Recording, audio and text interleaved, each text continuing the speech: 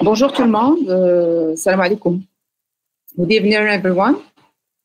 Uh, welcome uh, all of you uh, uh, to the first uh, webinar Moroccan Society of Hand Surgery. le bureau de la Société marocaine de chirurgie de la main et moi-même sont ravis de vous retrouver pour débattre d'un sujet d'actualité et qui sera certainement et qui aura trouvera bien sûr certainement sa place euh, dans notre contexte, mais aussi euh, en vue du contexte actuel de la pandémie de la COVID-19. Euh, pour son premier webinaire, la SMCM a choisi comme sujet la valente en chirurgie de la main, sujet qui sera présenté par Dr Donald Lalande, président de la Société canadienne de chirurgie de la main et professeur de chirurgie plastique à l'Université de Laos de Canada et qui était à l'origine de cette technique. Il nous parlera de son expérience et de son expertise dans la wallante, dans la chirurgie tendineuse de la main. Euh, la deuxième conférence sera animée par Dr euh, Thomas Appa, chirurgien de la main et euh, écochirurgie de la clinique euh, francisienne de Versailles à Paris et que j'ai eu l'occasion de rencontrer l'année dernière lors du congrès de la Société tunisienne de chirurgie de la main. Il nous parlera de la wallante euh, dans la pathologie dégénérative. La troisième conférence sera assurée par Dr Kamal euh, Rafeqi, assistant à la faculté de médecine d'Agadir et euh, membre du bureau de la société de la SMCM, qui parlera de son expérience dans la Wallante dans les fractures du membre supérieur. À mes côtés, pour modérer ce webinaire, Dr Salim Bouabid, chirurgien orthopédiste et chef de service de la traumatologie orthopédie 1 de l'hôpital militaire de Rabat, et euh, donc, avant de lui céder la parole, je tiens à remercier l'assistance euh, locale, nationale, mais aussi étrangère, euh, d'avoir été inscrite et de nous suivre à travers ce webinaire. Donc, à toi la parole, Céline. Merci Hanan. Pour ceux qui ne la connaissent pas, il s'agit du docteur Laouri Hanan exerçant au CHU, euh, au CHU de Marrakech. Merci d'être aussi nombreux à mon tour euh, de vous le dire pour suivre notre premier webinaire avec une participation, représentant, je dis bien, des quatre continents. Entrant dans le vif du sujet, qu'est-ce donc le terme ou technique wallante, wide awake local anesthesia, not tourniquet en un mot, c'est une nouvelle approche de l'anesthésie loco-régionale par éco-guidage. Là, selon la Société française d'anesthésie-réanimation, lors de sa dernière réunion remontant à l'année 2019.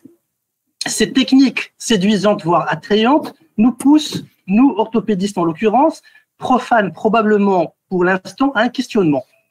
Cette infiltration devrait-elle être éco-guidée? Nécessite-t-elle alors une formation ou un DU une éventuelle aide ou assistance d'un radiologue. Y aurait-il un risque latent ou patent de nécrose localisée des doigts? Doit-on alors être muni de phantolamine, qui est l'antidote de l'adrénaline? A-t-on l'habitude d'utiliser cette drogue? Quelles sont les pathologies pour lesquelles on devrait être prudent? Y aurait-il les contre-indications inhérentes à cette technique? Wallante équivaudrait vraiment à une autonomie du chirurgien vis-à-vis de l'anesthésiste? Pandémie oblige également. Est-ce un simple effet de mode auquel tout orthopédiste devrait faire attention? Autre volet de cette technique-là, en faisant une revue de la littérature récente, pour certains, la wallante peut être indiquée pour toute chirurgie de la main et du poignet. Pour d'autres, elle doit se limiter à des gestes chirurgicaux courts et localisés. À ce propos, nos trois orateurs vont se prononcer sur ce sujet pour une, pour une meilleure compréhension des tenants aboutissants de cette technique. Sans plus tarder, Mr. Lalande, would you care to start your conference, please? Thank you. Uh, merci beaucoup, uh, professeur Bouabid uh, et collègues. Merci d'être venu. Je vais montrer mon écran. S'il vous plaît, disez-moi quand vous voyez l'écran. Bien visible, c'est bon. OK. C'est bon. Alors, vous voyez? Parfait. OK. Bon, parfait. Euh, alors, euh, well, je, je, vous demande d'excuser mon, mon, français facturé. Je vais faire de mon mieux. c'est plus facile pour moi de parler en anglais, mais aujourd'hui, je vais faire de mon mieux de parler en français pour la première fois, en effet. Alors là, voilà, ça veut dire wide awake, local anesthesia, no tourniquet. Et au lieu du garrot, nous nous servons de l'épinéphrine et de euh, la xylocaïne. Euh, il y a un livre de Wide Awake Hand Surgery. Je ne fais pas d'argent là-dessus, euh, mais c'est un, une bonne source d'information ainsi que le site gratuit wallet.surgery. Et si vous avez des questions, s'il vous plaît, envoyez-moi un courrier. Je peux vous envoyer des papiers. Mon courrier est dlalonde at drlalonde.ca, comme le Canada. Alors, euh, quand on fait le Wallant, euh, il y a beaucoup de choses qui sont plus faciles. Il n'y a aucune douleur de garrot. Il n'y a pas de nausée ou de vomissement. Euh, il n'y a aucune nécessité de commencer un intraveineux. Pas de test inutile préopératoire parce qu'il n'y a pas de sédation inutile. Euh, la douleur d'injection euh, peut être minime. C'est beaucoup moins cher pour les Canadiens et les Marocains et les gens du restant du monde. Euh, pour euh, un canal carpien qui est très simple, c'est moins d'une heure à l'hôpital, il n'y a pas besoin de se déshabiller, c'est pas nécessaire d'arrêter de manger ou euh, de changer les médicaments. Le diabète continue comme ils le font normalement. C'est pareil comme aller chez le dentiste essentiellement. Et un gros bénéfice, c'est que le chirurgien est capable de donner de l'instruction claire aux patients pour diminuer les complications. Les gens, ce que vous voyez en anglais, sont en train de dire qu'ils ont très, ils ont beaucoup, en effet, aimé leur opération. Ils comparent à quand ils ont eu la sédation avec la nausée, etc. Et ils trouvent que c'est une façon très facile euh, d'avoir la chirurgie de la main.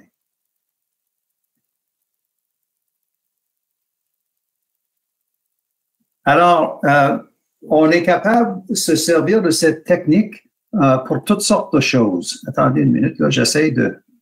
Non. Bon. Euh, pour le lacertus, le nerf ulnaire, les doigts à ressort, les canaux carpiens, évidemment, ça, ça, ce sont tous des, des opérations qui sont très simples, mais aussi on peut se servir de cette technique pour les opérations compliquées, comme on va vous montrer. Euh, c'est un mythe que l'épinéphrine tue les doigts. Ce mythe euh, a été conçu avant que je suis né, avant l'année 1950. Euh, Moi, je suis né en 53. Et le mythe a été prouvé non correct par plusieurs papiers. Je pourrais vous les envoyer. Euh, un concept, c'est que nous pouvons renverser euh, la vasoconstriction de l'épinéphrine avec la phantolamine. Ça fait plus de 6000 cas que je fais euh, dans toutes les années que je fais ça et je ne me suis jamais servi de la phantolamine obligée. Je m'en suis servi pour démontrer que ça marche bien aux chirurgiens, mais au Maroc, euh, vous pouvez faire euh, le wallet sans phantolamine. Euh, et je vais arrêter sur ce sujet parce que je pourrais parler pour deux heures juste pour l'épinéphrine dans les doigts, mais si vous lisez les papiers, si vous regardez toutes sortes de, de présentations, vous allez voir que c'est un mythe. Les doigts sont blancs pour une secousse, euh, mais ça se passe. Mais particulièrement pour les opérations où euh, voir structure euh, fonctionner après la réparation est très important pour améliorer les résultats, surtout dans la réparation des fléchisseurs, pour avoir la bonne tension dans les transferts à l'avant-bras. Quand on fait la ténorise, les patients nous aident à rupturer les dernières adhésions. Euh, et les résultats sont beaucoup mieux qu'ils étaient avant qu'on les fasse. Aussi, quand ils voient dans la chirurgie, ils réalisent quelles sortes de résultats qu'ils peuvent avoir. Alors, ils travaillent plus fort euh, après la chirurgie pour réussir à avoir le résultat qu'ils ont vu avec leurs yeux. Et aussi, quand on fait des opérations comme le Dupuytren, et à la fin, c'est pas 100% les patients savent que ça sera pas 100% Ils savent que, oh, je ne serai pas capable complètement ouvrir euh, mes doigts. Et alors, ils sortent, les chirurgiens et les patients sortent de la salle d'opération avec des, des expectations réalistes.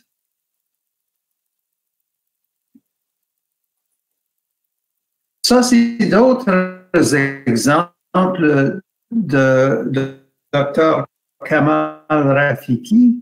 Euh, il va vous montrer quelques de ses expériences avec euh, euh, les fractures, mais il fait toutes sortes de chirurgies de tissus mous, comme le fait le restant du monde. Seulement, stop sharing your webcam. OK.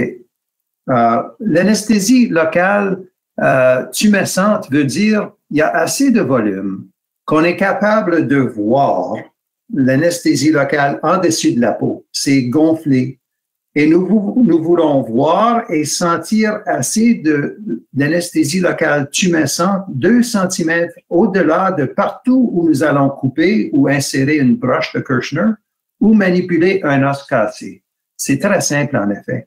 C'est comme un beer block, mais pas dans les veines, c'est dans les tissus extra-artériels, euh, extra-veineux, ou seulement où c'est nécessaire. Alors, pour faire un proximal row carpectomy, comme vous voyez Carlos de Pina de Portugal, euh, nous mettons partout où nous allons euh, travailler de l'anesthésie locale. Alors ici, peut-être que Carlos s'est servi de 80 millilitres, 40 millilitres sur euh, la partie palmaire, 40 sur la partie dorsale, pour avoir au moins 2 cm d'anesthésie locale visible au-delà où nous allons travailler. Et euh, dans cette opération, le, patient sent absolument aucune douleur. Et le chirurgien est capable d'examiner pour faire certain que tout va bien fonctionner euh, quand il ferme la peau. Alors, jusqu'à 50 millilitres de 1% de lidocaïne avec 1 sur 100 000 épinéphrine est extrêmement sauf. Euh, alors, pour un adulte de 70 kg, c'est 50 millilitres. Alors, si vous avez besoin de plus de volume, comme quand on fait des transferts à l'avant-bras, euh, nous pouvons ajouter 150 millilitres de sérum physiologique. Ça, ça nous donne 200 millilitres de 1 quart pour cent de lidocaïne avec 1 sur 400 d'épinéphrine qui est complètement efficace. Ça marche très, très bien euh, euh, pour faire la chirurgie que nous avons euh, de besoin. Pour la plupart des cas qui durent moins de deux et demi heures, euh, c'est tout ce qu'on a besoin. Si les cas vont durer plus que deux heures et demie, on peut ajouter de la bupivacaïne euh, avec le mélange. Alors, pour faire le 1% avec 1 sur 100 000 épinéphrine, nous prenons 0,1 0,1 euh, d'épinéphrine et 10 millilitres de lidocaïne 1 Alors, au Maroc, je crois que vous avez le 2% Alors, vous faites la mathématique et vous euh, mélangez, c'est tout, c'est simple. Alors, la chirurgie est plus sauf sans sédation. Cet homme, j'ai fait son tunnel, son euh, tunnel carpien, son canal carpien six mois avant qu'il euh, meure.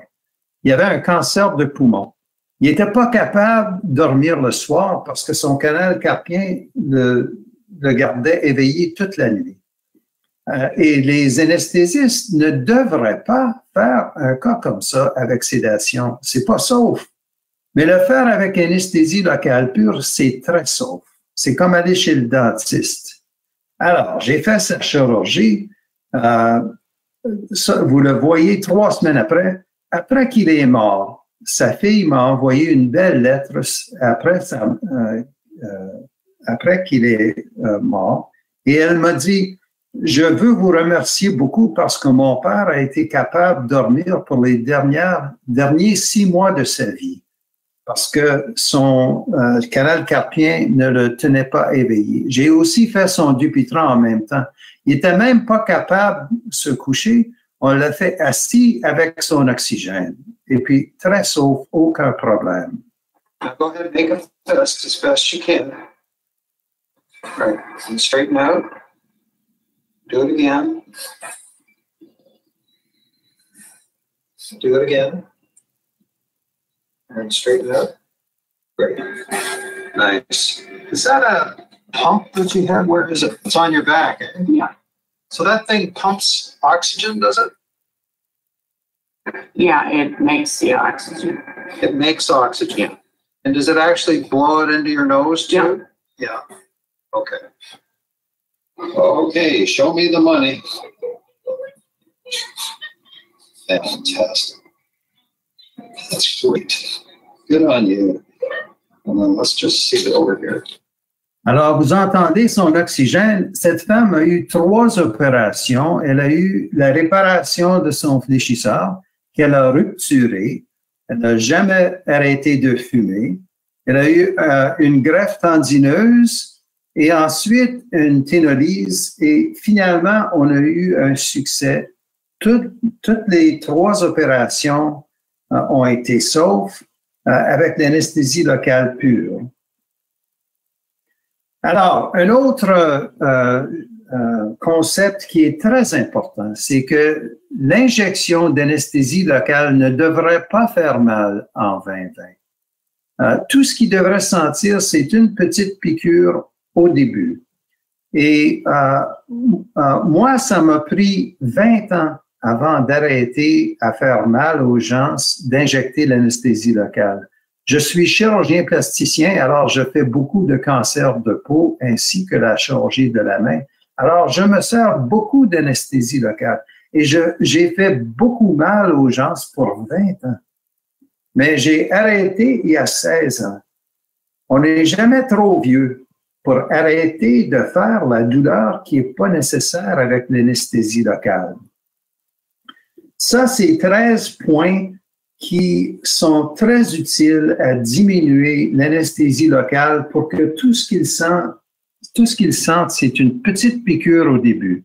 Alors, il faut se servir des aiguilles qui sont plus petites. Il ne faut pas injecter si rapidement, un peu plus lentement, s'il vous plaît.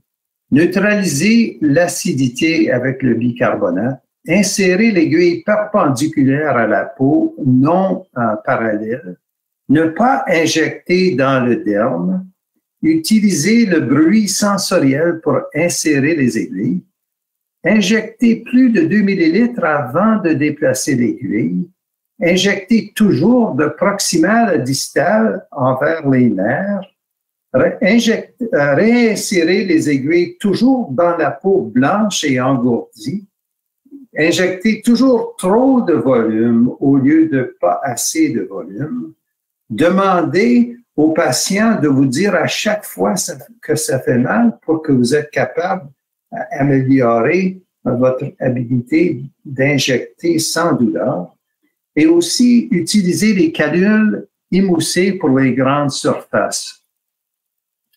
Je ne peux pas aller en détail dans le temps qui m'est donné pour vous expliquer toutes ces 13 choses-là, mais c'est très bien expliqué avec des vidéos. Vous avez juste à faire le Google, YouTube, Lalonde, ICTEC, I-C-T-E-C. Vous pouvez prendre une photo de, euh, uh, take a screenshot uh, now, local anesthesia, et c'est, je vous donne 60 minutes de vidéo, etc., pour expliquer comment ne pas faire mal aux gens. Bon, alors vous allez voir un canal carpien canadien. C'est comme ça qu'on fait ça au Canada. On fait plus ça dans la salle d'opération majeure avec un drapage majeur. On fait ça avec le drapage réduit et nous avons beaucoup de preuves que c'est sauf en temps d'infection. Nous avons publié euh, ce papier en bas de 15 000 cas consécutifs neuf chirurgiens dans six villes avec un taux d'infection de 0,39 Alors, complètement sauf, avec juste des infections mineures, pas une infection sévère. Et ça fait au-dessus de 50 ans qu'on fait ça au Canada. C'est une grande expérience ici. On a pris beaucoup de chirurgie de la main en dehors de la salle d'opération majeure et dans les salles d'opération mineures dans les hôpitaux où se font les cancers de peau, etc. Et ça, ça nous a permis une grande réduction de coûts et d'ordures. Alors ça, c'est des ordures dans la salle d'opération principale pour un canal carpien. Et ça, c'est pour la même opération sans différence d'infection les ordures, tout ça, ça coûte beaucoup d'argent. Alors ça, ça fait que la, chirurgie, devient euh, atteignable euh, aux gens qui n'ont pas d'argent. Alors, parce que le coût de la chirurgie a beaucoup diminué et c'est beaucoup mieux pour notre environnement aussi. Le COVID a, a changé beaucoup de choses. Euh, la chirurgie anglaise de la chirurgie de la main, la Société anglaise de la chirurgie de la main et la, euh, Société orthopédique euh, de l'Angleterre, les deux recommandent le Wallant à cause de COVID pour diminuer euh, la salive qui se répand partout quand quelqu'un est intubé et aussi diminuer le nombre de gens qui sont dans la salle d'opération. Euh, ces sociétés-là recommandent sortir euh, de la salle d'opération majeure dans les salles d'opération mineure avec beaucoup moins de personnel. Euh, dans une salle d'opération majeure, il y a souvent 8-9 gens. quand je fais les canals carpiens au Canada, je fais ça avec une infirmière. Moi et une infirmière, nous sommes capables de faire 15 cas par jour. Alors, ça, c'est beaucoup mieux pour moins répandre le problème de COVID. Mais les tendons fléchisseurs ont beaucoup, beaucoup changé. Et maintenant, euh, environ 50% même des chirurgiens américains qui ont eu beaucoup de difficultés à arrêter l'anesthésie avec sédation, 50% des chirurgiens américains maintenant euh, font leur tendon fléchisseur avec le Wallant à cause du fait qu'il y a beaucoup moins de ruptures et beaucoup moins de ténolyse. Moi, mes résultats ont beaucoup amélioré quand j'ai commencé à les faire aider. Il faut que je vous dise qu'avant les journées, quand je faisais ça endormi, mes résultats étaient terribles. J'avais beaucoup de ruptures, euh, très peu de résultats excellents. Mais aujourd'hui, en 2020, dans un tendon fléchisseur coupé nettement dans un patient coopératif, nous devrions obtenir un bon résultat sans rupture et sans ténolyse presque à chaque fois, tout comme dans la chirurgie à lambeau libre. Alors, ça a beaucoup changé de quand j'étais plus jeune. Alors maintenant, ça, c'est une bonne réparation si vous n'avez jamais lu le papier de Jin Botang en Hand Clinics en 2017, je vais vous l'envoyer. 300 réparations de tendons fléchisseurs pour des jeunes chirurgiens chinois dans trois centres. Ils ont suivi la recette dans le papier de Jin Botang. Seulement une rupture, 83 à 87% de résultats excellents. Et ça vaut vraiment la peine de lire ce papier-là. C'est un papier très, très important. Alors, ça, c'est une, une bonne réparation en 2020. C'est un peu encombrant pour éviter le gap et la rupture. Je faisais avant cette sorte de réparation, c'est ce que j'appelle maintenant une réparation de baiser de grand-mère. C'est quand on donne un baiser à notre grand-mère, puis on va sur la joue. On touche presque pas. Ça, c'est pas une bonne réparation. On pensait que c'était une bonne idée parce qu'il fallait passer à travers les poulies. Mais maintenant que nous pouvons ouvrir les poulies, une réparation un peu encombrante qui ne gappe pas, qui ne euh, rupture pas, euh, est capable de passer à travers les poulies.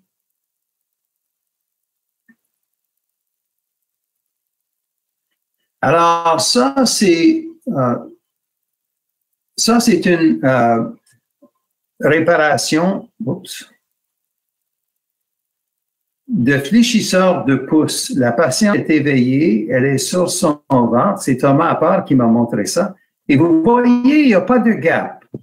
C'est bien paré. Mais quand elle fait la force avec son muscle, la réparation commence à faire un gap. Ça, dans les journées où je faisais ça avec les patients endormis, ça, ça leur aurait fait une rupture. Mais parce que je l'ai vu, j'ai réparé le gap et il n'y a pas eu de rupture. Nous avons publié euh, ce papier avec au-dessus de 100 cas et nous avons vu des gaps avec les baisers de grand-mère dans 7% des cas. Ça, c'est des cas qui allaient rupturer. Et si vous faites les cas endormis aujourd'hui, peut-être que vous aussi, 7% des ruptures que vous avez se font parce que les, les réparations sont pas assez serrées, sont pas assez solides. Il faut les observer, marcher pour faire certains qui sont solides. Et s'ils sont un peu plus encombrés, ils vont être plus solides.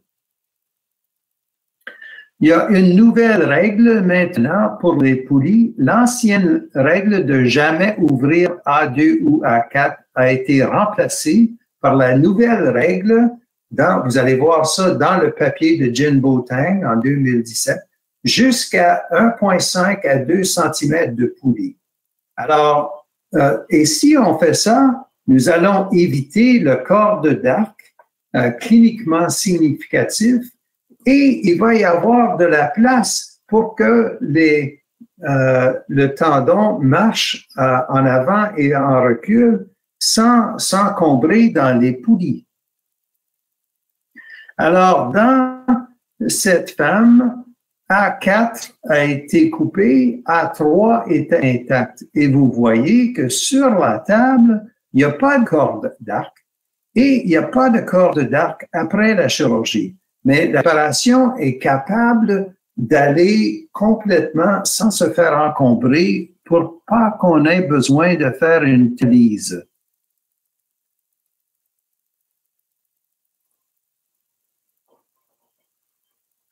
Dans ce cas, A3 et A4 ont été ouverts et vous voyez qu'il n'y a pas de corde d'arc sur la table et il n'y a pas de corde d'arc après la chirurgie. Alors, ce que nous faisons maintenant, c'est quand les patients sont éveillés, vous voyez, je coupe à 4. Je fais ma réparation. Ensuite, j'observe si la réparation se fait encombrer dans les poulies qui restent ou non. Dans ce cas, oui, la réparation est encombrée avec euh, ce poulie cruciate et je divise le poulie qui encombre ma réparation. Maintenant, il n'y a plus d'encombrement. Ça marche très bien, il n'y a pas de gap, alors ça va pas rupturer. Et ça, c'est la patiente trois mois après que j'ai coupé A4 et vous voyez qu'il n'y a pas d'arc, euh, corde d'arc. On peut faire la même chose avec A2. Ça, c'est un cas de Dr. Escobar de Colombie. Avant qu'il coupe A2, sa réparation était encombrée. Après qu'il coupe à deux, la réparation n'est plus encombrée. Il fait le mouvement euh, actif et le patient a eu un bon résultat euh, avec un mouvement complet.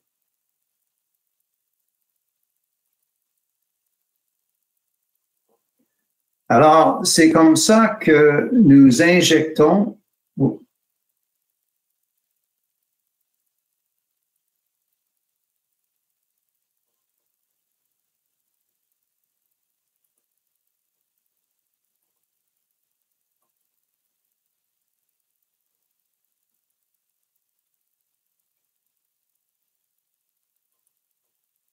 Bon, alors, euh, dans ce jeune de 16 ans, il y a eu trois tendons de couper. Alors, on commence avec injecter 10 ml de lidocaïne avec l'épinéphrine sans bouger l'aiguille dans la pompe proximalement où nous allons couper. On revient 30 minutes plus tard et maintenant, il y a une anesthésie de toutes les nerfs. Alors, les injections distales que nous allons maintenant démontrer ne font pas mal du tout. Alors, nous mettons 5 millilitres dans chaque doigt, 2 millilitres dans chaque phalange, et il ne sent pas ces injections secondaires du tout parce que les nerfs proximales sont anesthésiés.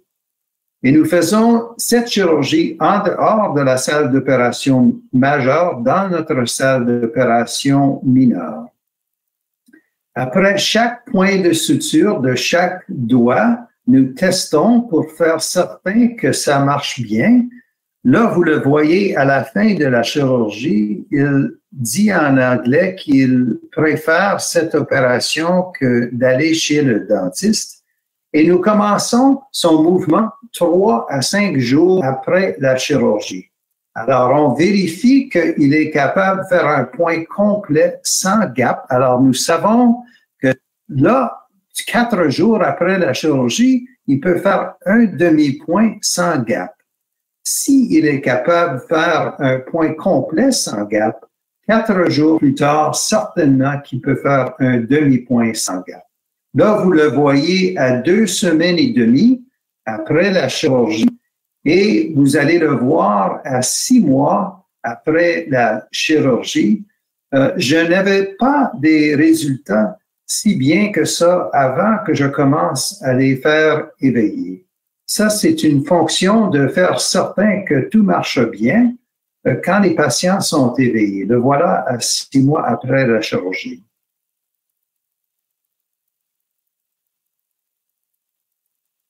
Ça, c'est un autre bonhomme avec trois doigts et vous le voyez dans la salle d'opération. Vous le voyez à quatre jours après la chirurgie où on commence l'ergothérapie. Un demi-point, pas plus. Il ne se sert pas des doigts, mais il les bouge pour pas qu'ils deviennent euh, pris dans la cicatrice. Et vous le voyez à six semaines après la chirurgie. Si vous voulez voir la réalisation, vous allez être capable de trouver ça. C'est le, euh, le, site web uh, Wallant.surgery. So let me explain the theory of the movement that we're going to do when Amanda starts you moving on Friday. The goal is Alors, ce que je fais pendant la chirurgie, j'explique aux patients que leur tendon n'est pas solide que s'ils essayent de se servir de la main, qu'ils vont déchirer le tendon. Mais s'ils ne bougent pas le tendon du tout, du tout, dans les trois semaines après la chirurgie, le tendon va devenir pris dans la cicatrice. Alors, ils doivent répéter trois fois pendant la chirurgie. Je peux le bouger, mais je ne peux pas m'en servir. Parce qu'il faut qu'ils comprennent complètement quoi faire. Je fais ça au lieu de parler aux infirmières au sujet de la météo. C'est beaucoup plus intelligent de se servir de notre temps pour éduquer aux patients pour qu'ils sachent exactement quoi faire. Quand on coupe un fléchisseur, ça change notre vie. Alors, une de mes questions préférées pendant la chirurgie est que comptiez-vous faire cette semaine? Parce que s'ils me disent, ah, bon, ben, je vais aller jouer au golf ou, oh, non, je vais prendre, je vais aller avec mes enfants, on va jouer au baseball, hey, c'est pas faisable.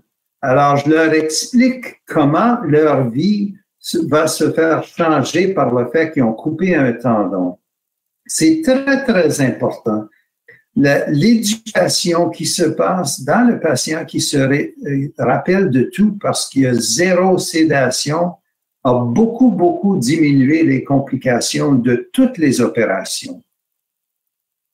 Quand on fait euh, une coupure de l'avant-bras, c'est parfois c'est difficile de savoir quel tendon demeure avec quel tendon. Alors tout simplement, on leur demande, ok, bougez l'index. Alors c'est le muscle de l'index qui bouge le plus. Un autre petit truc dans ces situations-là, j'ai appris de docteur euh, Chen de la Chine. Il m'a montré, ah, si tu tires sur les muscles proximales, le patient va te dire, ah, ça c'est mon index, ah, ça c'est mon petit doigt, parce que les patients peuvent sentir quel muscle sur lequel vous tirez. Alors, ça, ça aide beaucoup, particulièrement sur les bandits, euh, à, à, faire un bon match avec les tendons proximales et distales.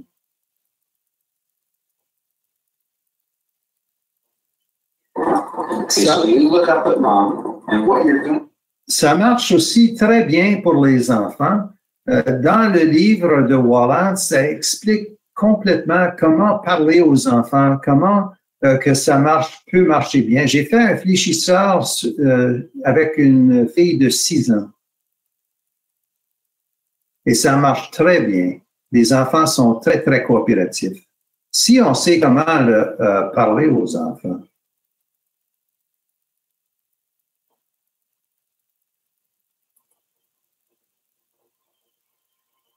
Alors, quand on voit des tendons qui sont saufs, qui sont sains, qui ne font pas de gap, il n'y aura pas de rupture, qui ne sont pas encombrés par les poulies parce qu'on va éviter la ténolyse, ça nous aide beaucoup.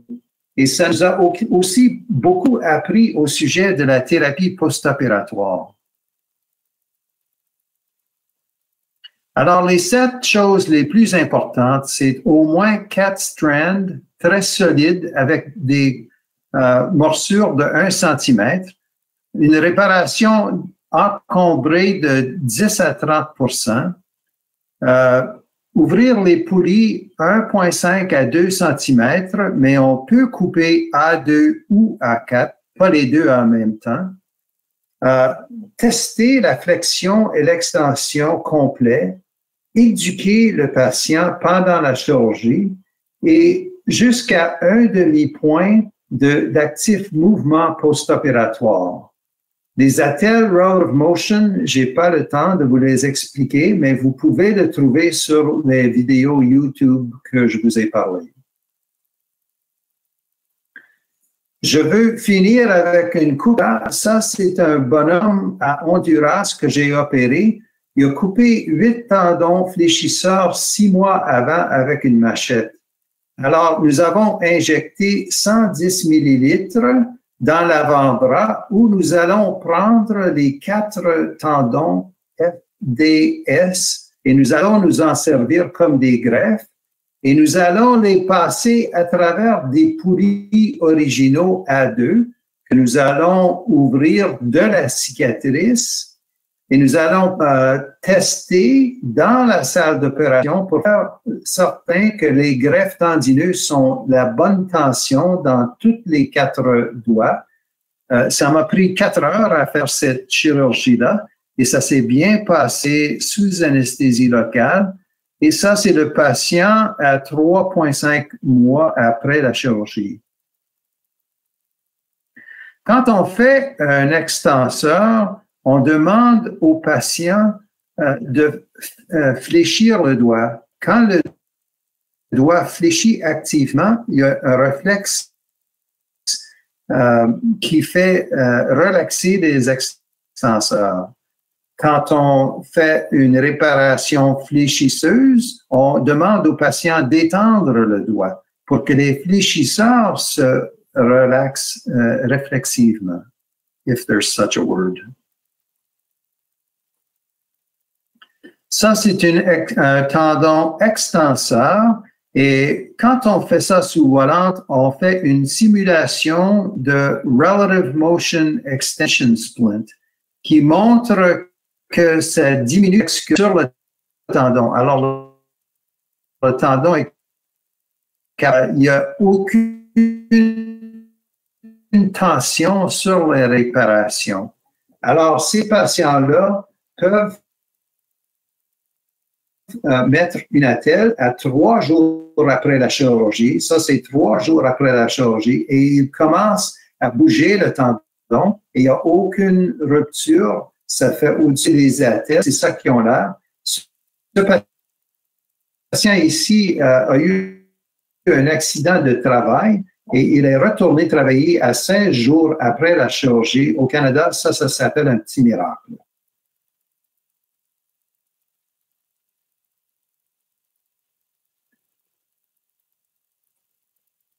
Si vous voulez d'autres euh, euh, lectures sur ce sujet, vous faites le YouTube, la langue, euh, présentation sur les fractures, les extenseurs, etc. Merci beaucoup.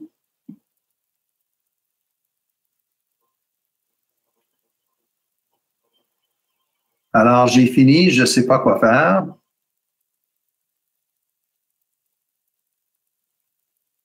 Est-ce qu'il faut que je fasse quelque chose? Euh, c'est bon. Merci, docteur Lalande, pour votre euh, intéressante euh, présentation. Je trouve que c'est très intéressant, surtout dans notre contexte. ça se prête très bien et j'espère, j'espère que on va s'y mettre dans ce sens. voilà. Donc, je tiens à préciser aussi pour les pour l'assistance, je tiens à remercier de, si vous voulez poser des questions, donc ils seront, euh, on va les discuter à la fin. Euh, vous allez au rubrique chat et vous pouvez donc les poster. maintenant, nous allons passer à la deuxième conférence. docteur Thomas Appart pour nous parler de la Wallante en Merci. À vous la parole. Je vais pouvoir afficher mon écran. Bonjour à tous. Merci beaucoup pour votre invitation. Merci Kamal. Et euh, chers collègues, merci euh, beaucoup d'être là. C'est un honneur de parler euh, dans ce webinaire. Je vais donc afficher mon écran et le partager. Voilà, je pense que ça devrait être bon. C'est quand même difficile de passer après le docteur Lalonde, donc je vous en veux quand même un petit peu. Je vais parler euh, donc de la Wallande chirurgie. Alors en français, on peut traduire ça par euh, la chirurgie sous anesthésie locale sans garrot. C'est ce que je dis euh, à, mes, à mes patients. Quand on leur dit tout éveillé, ils ont du, du mal à comprendre. la pathologie dégénérative, c'est donc dans, dans le cas de, de l'arthrose. Donc le principe, c'est comme là, on est dans une chirurgie osseuse intra-articulaire, de bien diluer la xylocaïne adrénalinée 1% euh, euh, en mettant un peu plus que la moitié de sérum physiologique, donc plutôt 60% de sérum physiologique et 35% de xyloadré pour euh, 100% avec euh, un peu de bicarbonate. Le bicarbonate, c'est des ampoules de 8,4 pour 1000. Et on tamponne comme ça l'acidité de la, de la. On met euh, environ 20 cc sur la cicatrice avec les 2 cm de marge autour de euh, la future cicatrice. Et on utilise des longues aiguilles. Vous avez des aiguilles de 13 mm en 27 gauche, mais là, je pense qu'il vaut mieux utiliser des 30 mm pour injecter contre l'os de chaque côté. Euh, j'ai remarqué que contrairement à la chirurgie plastique, le réveil euh, de l'anesthésie était quand même beaucoup plus rapide et donc en sortie de bloc opératoire, il vaut mieux déjà donner euh, un comprimé de, tramadol ou de doliprane codéiné. Donc, quels sont les intérêts de l'anesthésie sous anesthésie locale sans, sans garrot? D'abord, le plus important pour moi, c'est qu'il n'y a pas de garrot. Pas de garrot égale pas d'hématome. Ça a été prouvé que, en fait, le lâcher de garrot augmentait le volume de la main de 20%. Pourquoi? C'est parce que vous avez un litre de sang qui arrive et l'hémostase primaire ne s'est pas faite. Et donc, les plaquettes n'ont pas eu le temps pendant l'opération de faire leur clou plaquettaire. Euh, pas d'hématome égale moins de douleur et vous avez une consommation dentalgique qui est euh, vraiment diminuée après euh, l'intervention et donc une réadaptation qui est beaucoup plus rapide. Tout ça, c'est rééquilibré à J3 quand on a un garrot, mais les deux premiers jours, on sait qu'ils sont fondamentaux pour ne pas avoir de douleur après et pour avoir une meilleure rééducation. Donc, l'intérêt du Walland, c'est surtout pour moi qu'il n'y a pas de garrot dans la chirurgie euh, osseuse. On vérifie la mobilité péropératoire, donc le chirurgien vérifie et le patient vérifie aussi. Une fois que vous avez fait vos points de suture, vous baissez le drap et puis vous montrez au patient comment ça bouge. Et ça, c'est quand même très important de montrer le résultat euh, et de lui dire, voilà, ça, vous n'y arriverez pas dans, demain ou après-demain c'est normal, c'est à cause de la douleur. Quand on, enlève la douleur, voilà le résultat qu'on peut obtenir. Et ça, c'est plutôt encourageant. On a toujours un discours positif avec le patient, on essaye de le rassurer. Et donc, on lui dit bravo, c'est formidable, euh, ça bouge bien. Et donc, c'est à vous après de, de jouer, c'est à vous de faire des progrès. On vérifie la stabilité en actif, c'est-à-dire que quand on met une prothèse ou quand on fait une arthrodèse, quand on met du matériel, on vérifie qu'avec euh, les muscles du patient, eh ben, le matériel est stable. On vérifie aussi le glissement des tendons en actif, qu'il n'y a pas de conflit, qu'il n'y a pas de frottement. Et ça, c'est quand même très important de vérifier euh, la course euh, de ces tendons. Alors, la technique d'Amir Ahmad, c'est vraiment pour moi quelque chose d'important pour la chirurgie du poignet. Lui, il fait ses fractures du poignet comme ça. Euh, pour euh, la chirurgie dégénérative du poignet. C'est vraiment celle que je vous recommande. En 2016, j'avais essayé euh, de faire de l'anesthésie wallante pour les fractures du poignet. C'était très compliqué et on essayait sous échographie de mettre du produit sous le carré pronateur, tout en essayant de le mettre sous le nerf médian. Bref, on avait abandonné. C'était vraiment trop difficile, trop exigeant pour le patient. Et en fait, Amir a trouvé la solution. La solution, c'est 20 cc sur la cicatrice, et puis euh, les, euh, la formule 4 de 4 pour ceux qui, euh, qui aiment le football, eh ben c'est la combinaison gagnante 4 de 4. Donc on met 4 millilitres en, en, en palmaire, 2 millilitres contre l'os en radial et 4 millilitres en dorsal. Et on fait ça trois fois de suite. On met euh, 4 de 4 de Wallante, donc ça fait 3 fois 10, 30, plus 20, ça fait 50 euh, de Wallante. Et donc on est en dessous des 7 mg par kilo de lidocaïne pour quelqu'un de 70 kg. La propagation périostale, ça, ça a maintenant été euh, bien étudié, c'est-à-dire que quand vous injectez contre de l'os, le produit se répand sur euh, l'os, et même si on n'est plus un enfant et qu'on n'a pas de périoste hypervascularisé, eh ben en fait, on a une propagation du produit euh, autour de l'os. Et ça, ça veut dire que ça va être efficace tout autour de l'os. C'est important de le savoir. Et c'est pour ça qu'il n'y a pas forcément besoin d'injecter dans la radio lunaire distale pour euh, le poignet. Le produit va faire le tour. Alors ça, ça veut dire aussi qu'il va falloir attendre. C'est très important d'attendre au moins 30 à 40 minutes entre le moment où vous avez fini l'injection et le moment où vous faites votre incision. Il ne faut pas être le chirurgien pressé qui veut inciser juste après l'injection de Wallant. Donc ça, c'est une, c'est un exemple de décompression euh, de maladie de Kinbock. Je vais vous montrer euh, la, la, vidéo. Excusez-moi, c'est la seule qui, euh, qui passe pas facilement. Hop. Et donc, Voilà l'exemple d'un homme de 41 ans qui a mal au poignet depuis 4 ans. Et quand on fait une IRM, on voit un Kinbock euh, stade 1. Et donc, euh, l'intervention euh, de Liara Mendy, c'est de euh, utiliser euh, le curetage du radius distal pour tester le l'os spongieux en, en, distal. Donc, j'ai utilisé la technique euh, d'Amir Ahmad, c'est-à-dire le fait d'utiliser des longues aiguilles 27 gauche pour injecter le lente et d'en mettre quatre en dorsale, deux en radial, quatre en palmaire. Et on fait ça trois fois de suite sur le côté du radius. Et on se retrouve absolument sans garrot à pouvoir perforer le radius. Et là, j'ai demandé au patient de bouger sa main pour euh, les besoins de la vidéo, pour bien montrer qu'il est sous anesthésie euh, locale. Et il sent absolument rien. On peut visser euh, l'os sans, sans problème, passer la curette et faire le curetage de l'os spongieux métaphysaire. Et donc, on pousse comme ça le l'os spongieux en distal et c'est tout à fait confortable pour le patient. On fait euh, la petite cicatrice et puis le patient nous montre qu'il il peut bouger et il n'y a pas de, a pas de souci euh, avec ça. Et pour ce patient qui habitait un petit peu loin, il m'a envoyé une petite vidéo de chez lui. Vous voyez, il a remis son alliance, c'est-à-dire que la main a absolument pas gonflé dès le lendemain de l'intervention. Et euh, je peux vous dire qu'il avait plus mal à son kinbox. Cette intervention est très bizarre, mais elle est très efficace.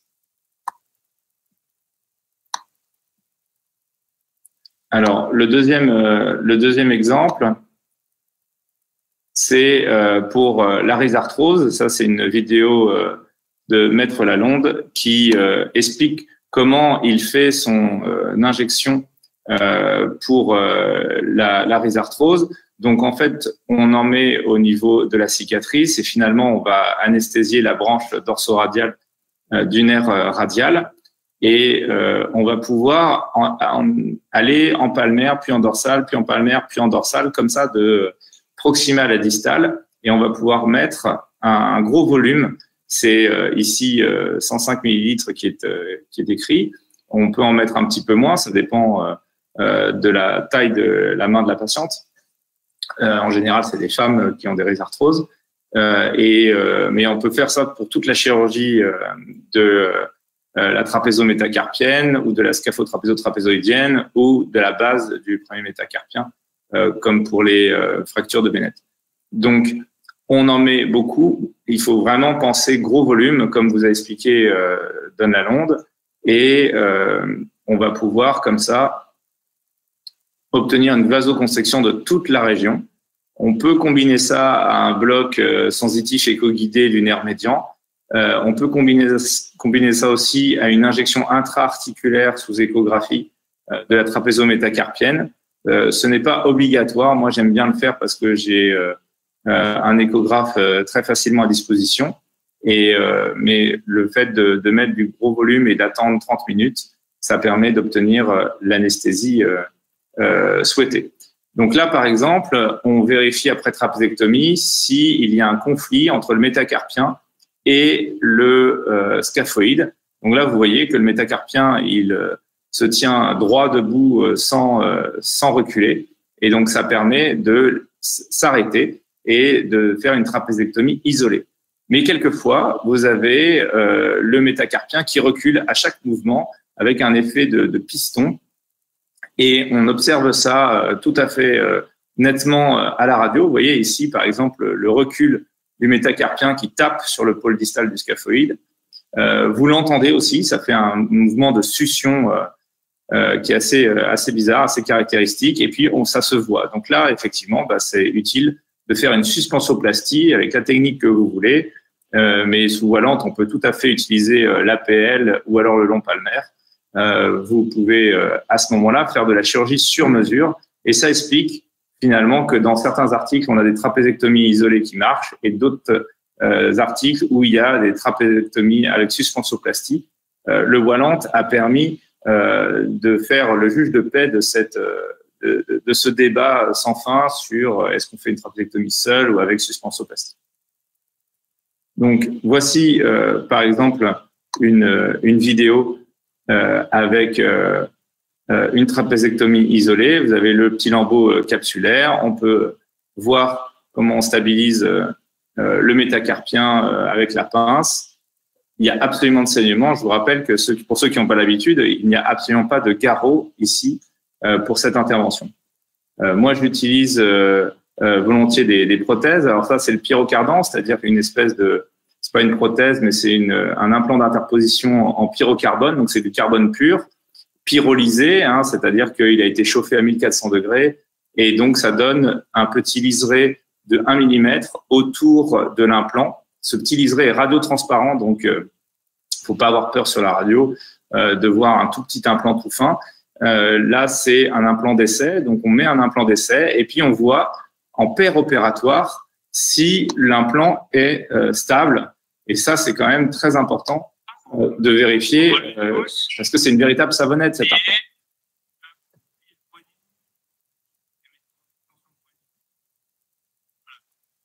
Et donc, vous voyez que l'implant est, stable. Il y a une stabilité primaire, c'est fondamental. On ne peut pas stabiliser cet implant avec euh, des bouts de capsule, des lambeaux de je ne sais pas quoi ou des tendons. C'est important de euh, pouvoir stabiliser euh, euh, de manière primaire au niveau de la recoupe osseuse cet implant pyrocardant. Là, c'est une prothèse trapézométacarpienne double mobilité. donc, la double mobilité, c'est comme une, pour une prothèse de hanche. Hein, vous avez une double mobilité ici. Et puis, pour prouver que la double mobilité marche en actif, eh ben, quoi de mieux que l'anesthésie wallante qui vous permet de euh, euh, faire bouger euh, le pouce. Le patient fait son opposition. Il n'y a pas d'effet cam entre le premier et le deuxième métacarpien.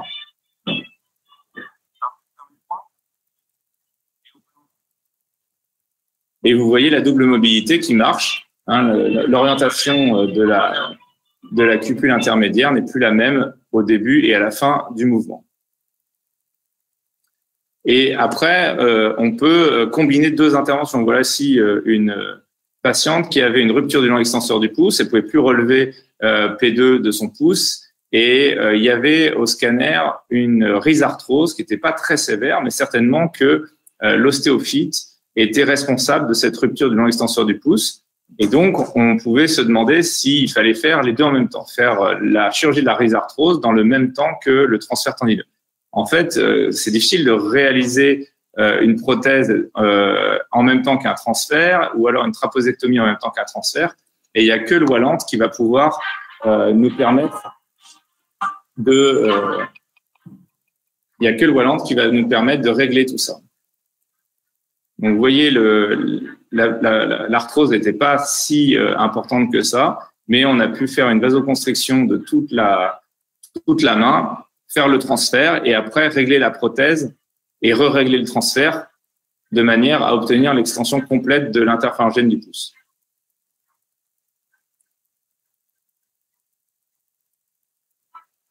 Et donc, la fin, à la fin, on montre au patient, regardez, voilà euh, l'extension que ça donne. Et immédiatement, en deux mouvements, elle a compris que euh, euh, en bougeant l'index, ça bougeait le pouce, et après au troisième mouvement, elle pouvait utiliser son pouce de manière indépendante.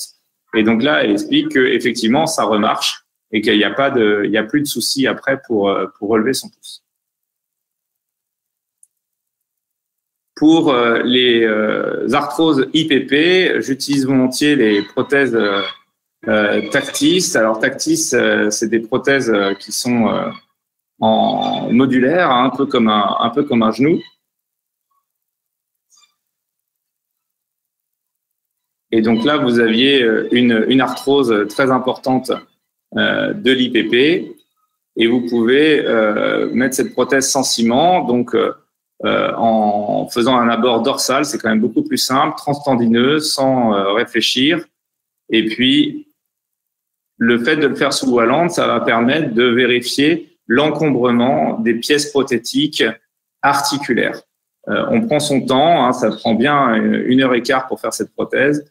On recoupe et puis on, met les, implants euh, de chaque côté en proximal et en distal. Et à la fin, vous pouvez, avec des implants d'essai, tester différentes tailles euh, de, de prothèses. Si vous mettez trop gros, bah, ça peut plus, euh, ça peut plus euh, se fléchir. Et si vous mettez pas assez gros, eh ben, vous avez euh, un doigt qui est instable euh, en valgus varus. Donc, euh, la technique se fait très progressivement. Hein. Vous devez être en sous-chondral au final.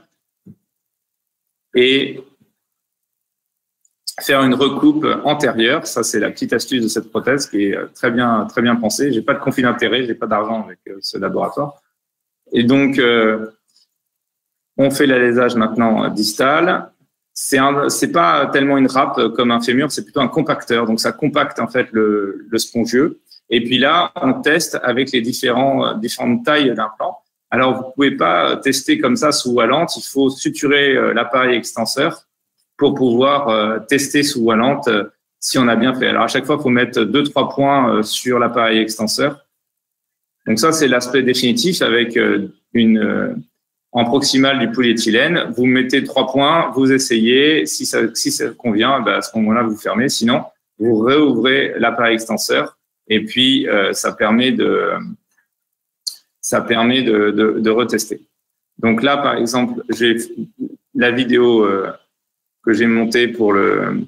Là, c'était, vous voyez, une, une, arthrose troisième doigt qui est hyper raide, qui ne peut pas plier à plus de 70 degrés. Voici la prothèse euh, en place. Alors évidemment, on ne peut pas faire l'extension euh, avec l'appareil extenseur comme ça qui est ouvert, luxé. Là, une fois que l'appareil extenseur est refermé, bah, c'est bon, on peut faire, on peut faire l'extension complète. Et puis après, on ferme la peau et surtout, on montre au patient que maintenant, il n'y a pas de problème. Donc, on met un petit pansement et puis on montre à la patiente, regardez, maintenant, le doigt il se plie euh, à 100 degrés sans problème. Et puis là, elle dit qu'elle n'a pas eu mal. Donc, vous voyez, là, elle observe qu'elle peut bouger son doigt et qu'avec la kiné, elle va pouvoir obtenir ce, résultat de flexion et, et cette dame était contente. Je vous remercie beaucoup. Et j'ai terminé euh, pour mon, pour mon topo.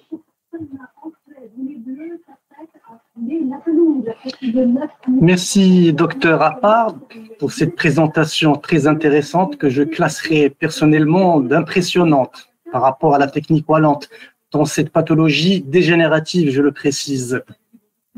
Nous passons donc à la dernière conférence du docteur Rafeki qui va nous entretenir cette fois-ci du Wallant dans les fractures du membre supérieur.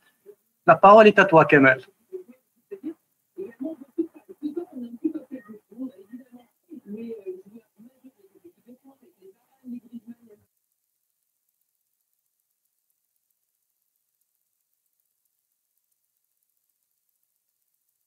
Bonjour tout le monde. Donc, je remercie la Société marocaine de chirurgie de la main pour, euh, pour cette occasion de présenter un sujet très intéressant qui est la Wallant technique. Donc, je remercie aussi les, modérateurs et aussi les, participants. Donc, c'est difficile de présenter franchement devant des, après des, pionniers de la chirurgie euh, Wallant, de la technique Wallant dans le monde. Donc, le professeur Lalonde et le docteur Appart.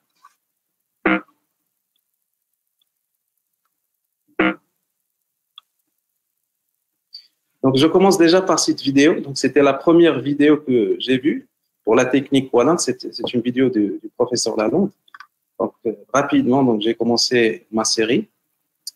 Donc, euh, sur les réparations des, des tendons fléchisseurs, en faisant deux dans des, différentes zones, des syndromes des canocarpiens, des maladies de, de, des butraines, des, rhumatoïdes, etc. Donc, par la suite, euh, donc, j'ai passé, je suis passé vers la chirurgie des fractures sous Wallant. Donc, c'est la première publication euh, concernant euh, cette technique dans les, fractures du membre supérieur.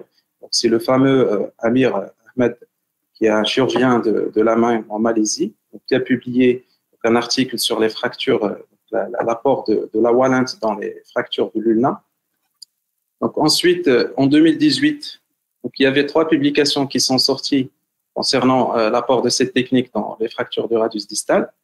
Il y avait le premier premier article, c'était de Amir, donc, qui a présenté la technique déjà la, première fois donc, euh, que cette technique est faite pour radius distal. Ensuite, il y avait des articles en Chine et en Taïwan. Ensuite, il a monté un petit peu en haut, donc il a présenté euh, la technique dans euh, les fractures de l'olécrâne. Et en 2020, donc en avril 2020, donc nous, avons participé à la littérature par cette l'apport de cette technique dans l'ostéotomie du radius distal.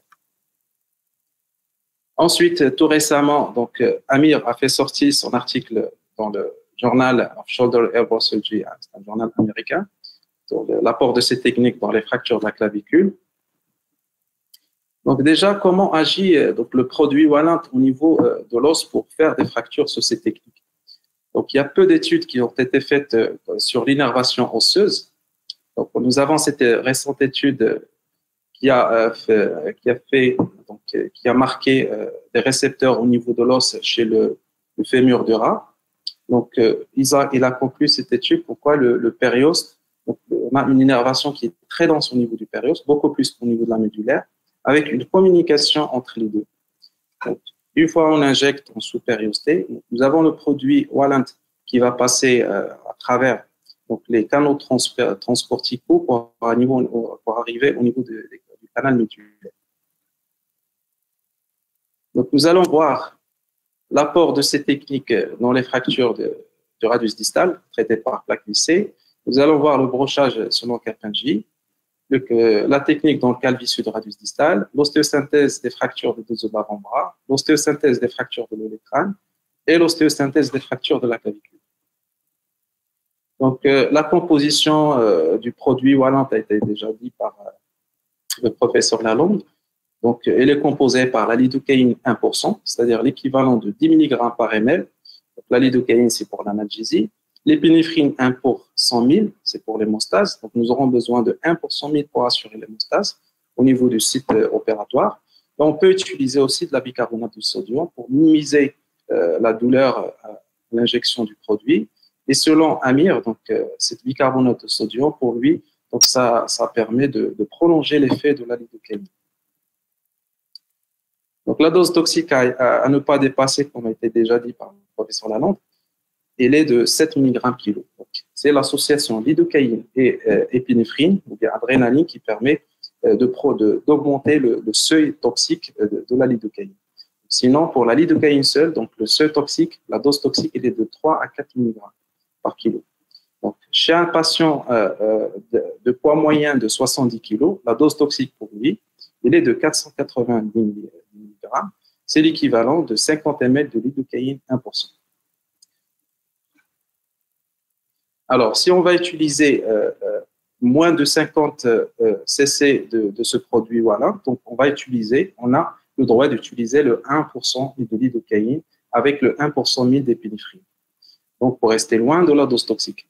Alors, si on va utiliser plus que 50 cc, dans les fractures du membre supérieur, c'est rare, c'est rarement qu'on utilise plus que 50%, donc, sauf pour faire les fractures des deux os de l'avant-bras. Sinon, si on va utiliser plus que 50 cc de ce produit, on va diluer avec du sérum salé pour avoir 0,5% euh, de lidocaïne avec 1 pour 200 000 d'épinéphrine. Au Maroc, euh, les, présentations pharmaceutiques qui sont disponibles, nous avons la lidocaïne 2%, qui est très fréquente dans nos hôpitaux. Nous avons aussi la, 1% qui est beaucoup moins fréquente.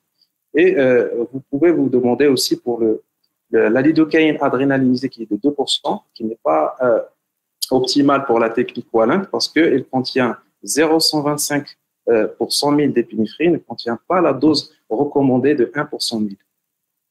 Alors, dans notre contexte marocain, comment préparer? Parce qu'on ne dispose pas de, de préparation qui est prémixée, comme en Canada par exemple, ou bien en France.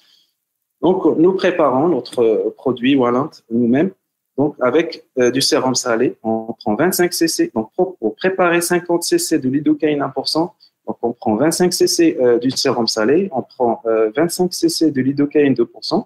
On va obtenir 50 cc de, lidocaïne 1%.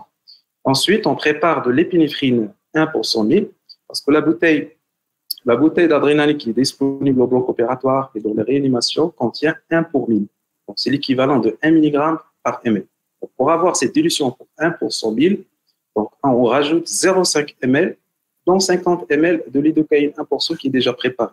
Donc au total, on obtiendra 50 cc de lidocaïne 1% et 1 pour 100 000 d'épinéphrine. On va montrer cette petite vidéo, comment faire, comment je fais la présentation. Donc on prend 25 cc de sérum salé 0,9 pour 1000% avec une seringue de 60. Vous pouvez utiliser aussi euh, une cupule. On prend aussi 25 cc de lidocaïne 2%. On obtiendra 50 cc de, lidocaïne 1%. Et on rajoute euh, de l'adrénaline 1 pour 1000. On rajoute 0,5 ml. Voilà, avec une seringue d'insuline pour être précis. Et on obtient, on peut rajouter aussi de, de, la, de la bicarbonate de sodium pour minimiser la, la douleur au site d'injection. Euh, ce qu'on utilise dans, le service, donc on utilise donc une seringue de 60 pour prélever la préparation déjà décrite, la seringue de 20 donc pour l'injection parce qu'elle est beaucoup plus maniable, la seringue d'insuline pour euh, prélever l'adrénaline, une aiguille de 27 gauche pour la peau et une aiguille 22 gauche pour parfois pour euh, arriver à des sites beaucoup plus loin au niveau de l'os. Donc on va commencer par l'ostéosynthèse des fractures du radius distal. Alors pour la technique d'injection, euh, une fracture de radius distal traitée par plaque, donc on aura besoin du voie d'abord. Donc on va injecter au niveau de la voie d'abord. Donc on injecte euh, selon la technique. moi je suis la, technique de Amir, la, règle de 4 2 4 décrite par euh, Amir. Elle a été expliquée par le docteur Appar tout à l'heure. Donc on injecte 10 cc jusqu'à de 10 jusqu'à 15 cc en sous-cutané du produit à l'aide d'une aiguille 27 gauche. On obtiendra un territoire cutané euh, une tuméfaction, euh, ce qui est représenté par le, produit en sous-cutané. Ensuite, on passe euh, du côté à la face latérale du radius. Donc, c'est un schéma que j'ai retiré de, de, l'article de, de, Amir qui vous présente sa technique. Donc, on injecte du côté latéral, à la face latérale, 2 cc, à la face antérieure, 4 cc, et à la face postérieure, 4 cc. Donc, c'est la règle de 4, 2, 4. Donc, il faut savoir qu'il faut rester à ras de l'os, donc en supériorité, pour ne pas endommager les structures nobles adjacentes. Vous voyez ici l'artère radiale, il ne faut pas aller un petit peu en avant. Donc, on injecte au niveau de trois sites, à peu près trois sites, parfois quatre, de 30 jusqu'à euh, jusqu'à 40 cc au niveau de la partie latérale. Donc là, c'est une vidéo qui présente la technique d'injection. Donc, c'est une aiguille de 27 gauche on injecte de proximal distal pour bloquer et pour ne pas minimiser la douleur. on obtient un territoire euh, euh, cutané, d'abord d'abord pour l'incision. Ensuite, on passe du côté latéral, toujours de proximal distal.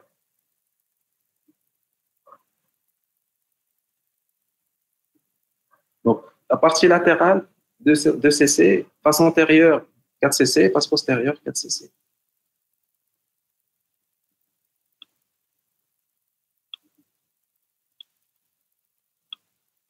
On injecte, on peut ajouter aussi, on peut injecter aussi au niveau de l'hématome fracturaire, ce qui permet une diffusion beaucoup plus large du produit à Parfois, on peut rajouter, on peut utiliser euh, une aiguille 22 gauche.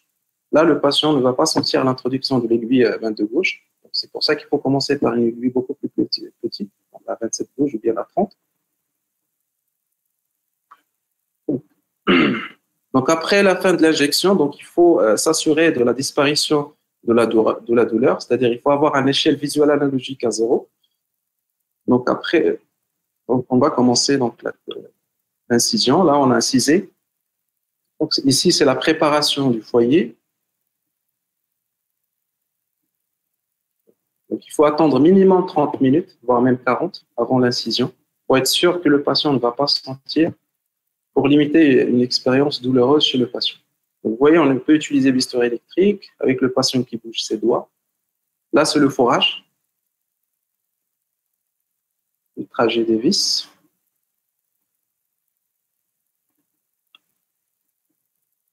Là, c'est le vissage. Et le patient qui bouge euh, ses doigts. Donc la place de ces techniques, donc ça permet une communication en paire opératoire avec le patient, ça permet de tester la stabilité euh, de l'ostéosynthèse, de voir est-ce qu'il y a des conflits entre les tendons et la plaque ou les vis. Et bien sûr, la sensibilisation du patient concernant la rééducation en post-opératoire.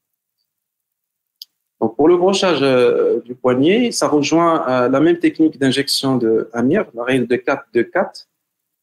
Donc sauf qu'ici, donc on va injecter au niveau de la face postérieure pour euh, le trajet de la broche postérieure. On peut injecter aussi au niveau de la du nerf parfois. Au niveau du brochage, on injecte de 30 jusqu'à 40 cc du produit euh, Wallet. On va avoir un territoire cutané aux ceux qui sont anesthésiés et là, on a une petite vidéo une fracture de protocoles. même technique d'injection que pour euh, l'ostéosynthèse par plaque. On injecte la face latérale de cc à la face antérieure 4cc, à la face postérieure 4cc. Là, c'est l'injection au niveau de l'hématome fracturaire. Donc, il faut rester à ras de. Là, c'est à la face postérieure. Et au niveau de l'hématome, dans le trajet euh, de la branche postérieure. Donc, après 30 minutes d'injection, donc vous voyez que le patient, euh, il bouge sans poignet sans problème, il n'y a pas de douleur. Et vous voyez euh, l'aspect blanchâtre pratiquement de, tout le poignet. C'est la vasoconstruction qui est liée à l'adrénaline. Donc là, on commence une technique classique euh, selon la Kapinji. Avec cette technique, vous pouvez opérer le patient rapidement. Donc, une fois il arrive aux urgences, vous pouvez l'emmener au bloc opératoire et l'opérer sans, euh, sans bilan, sans rien du tout. Vous voyez le, patient qui bouge ses doigts. Et là, c'est après euh, qu'on a coupé les vaches.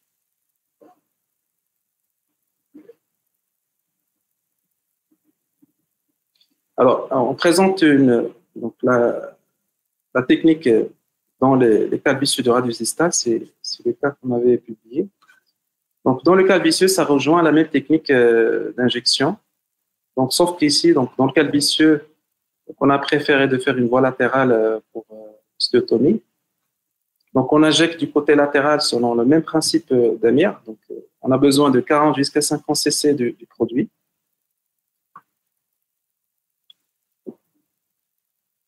On va injecter à la face latérale. On, injecte d'abord la voie d'abord, par la suite on passe euh, au niveau de l'os. On obtient une tuméfaction la face latérale, la patiente qui participe au champage. Et là, donc la patiente qui n'a pas strictement, n'a pas mal. Réduction, stéotomie et euh, fixation temporaire euh, de, fragments et mise en place de. Donc la patiente euh, qui bouge ses doigts. Elle est sensibilisée concernant euh, la, rééducation. Et là, c'est le, suivi à trois mois.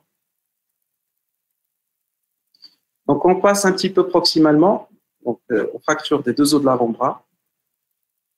Donc ces deux os, donc qui dit deux os, donc c'est deux, donc c'est plus de quantité de produits. Donc, on aura besoin de plus de 50 cc euh, du produit de, la solution. Donc, on va diluer encore plus la lidocaïne pour arriver à 0,5%, donc le tableau qu'on a vu tout à l'heure. Et l'épinéphrine va devenir le 1, à 1 pour 200 000. Donc, pour la technique d'injection, pour le radius, donc on aborde par voie antérieure. Donc, on va injecter la voie d'abord. Donc, c'est 1. Du côté du radius, donc euh, pour l'anesthésie osseuse, donc on passe du côté latéral. Donc, c'est 2. Donc, on injecte selon le même principe euh, que la technique d'Amir. Et pour le cubitus, c'est le même site d'injection qui est le, site opératoire. Donc on aura besoin de plus que 50 cc euh, de produit voilà. Donc on aura un territoire cutané qui est marqué en bleu, c'est la voie d'abord, et l'os qui est marqué en rose. Au niveau du radius, on aura besoin de plus de entre 40 jusqu'à 50 euh, cc du produit. Et au niveau du cubitus, c'est un os qui est superficiel, donc on aura besoin que de 20 jusqu'à 30 cc de ce produit. On va voir euh, la technique pour les deux os de l'avant-bras. Donc, toujours, euh, on, commence proximal en proximal euh, distal, perpendiculaire à la peau. On infiltre doucement pour minimiser la douleur.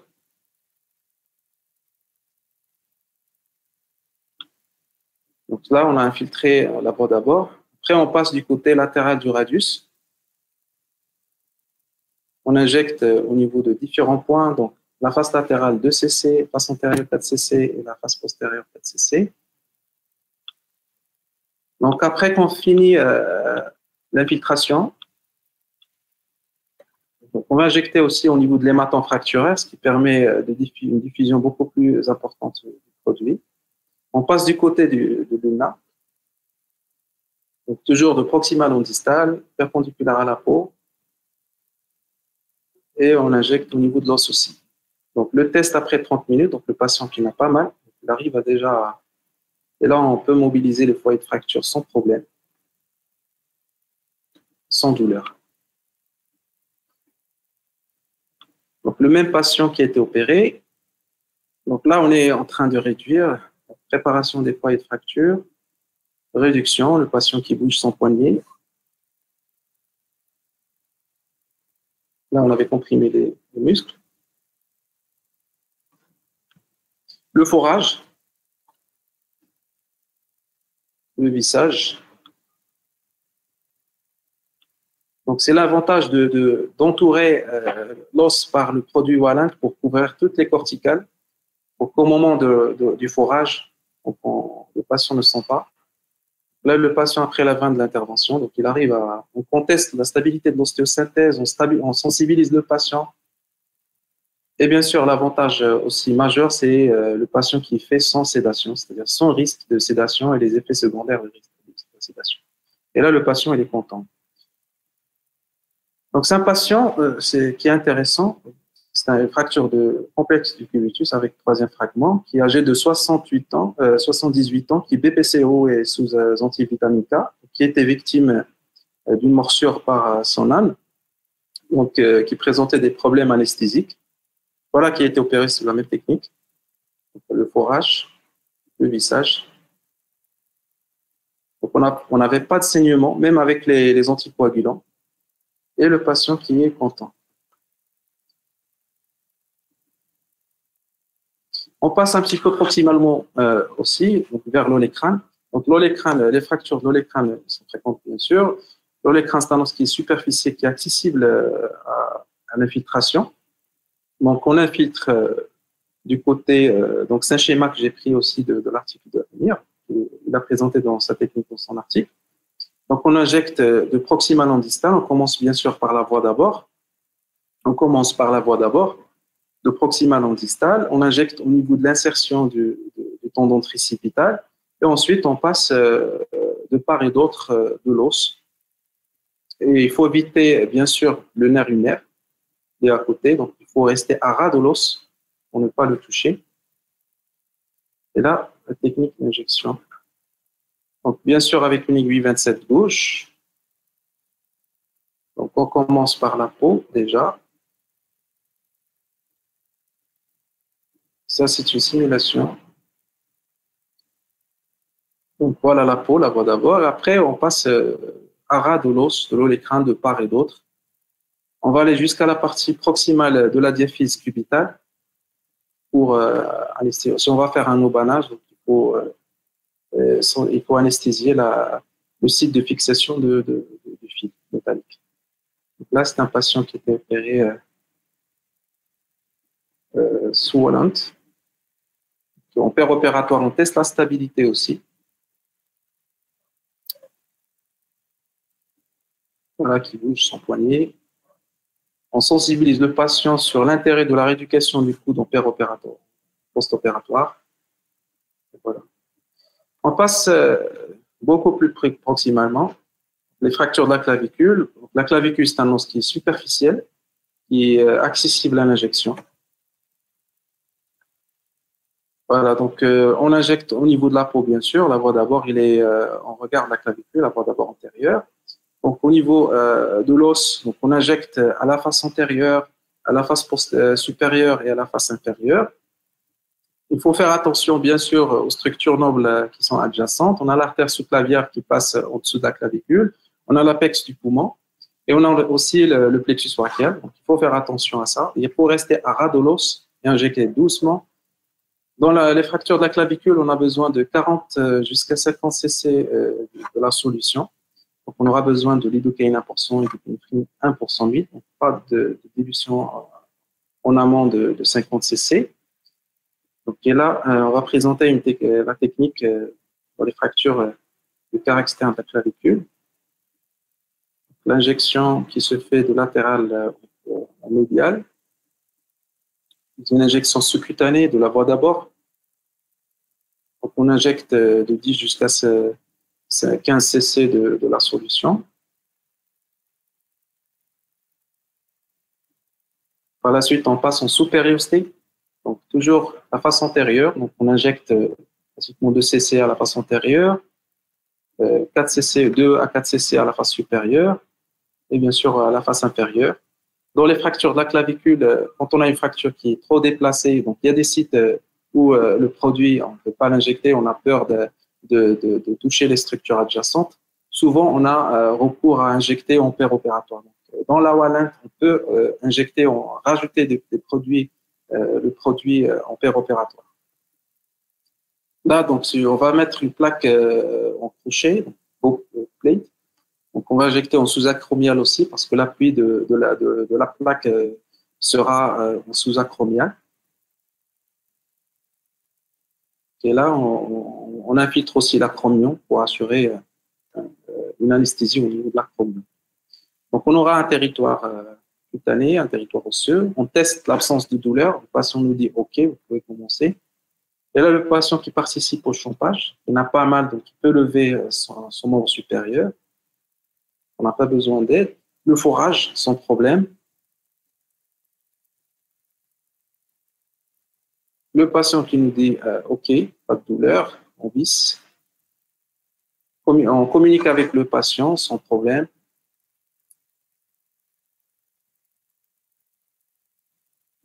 Et le patient qui, voyez, qui lève on teste la stabilité de notre ostéosynthèse.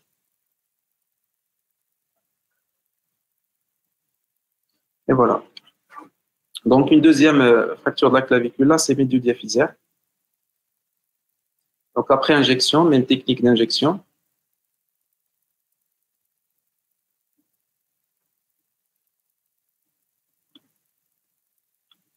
Et là, on perd opératoire.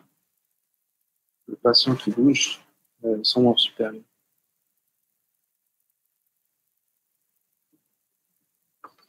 Donc pour les fractures de la tête radiale, donc je vais présenter, cette vidéo de, de Amir. C'est une slide qui m'a confié.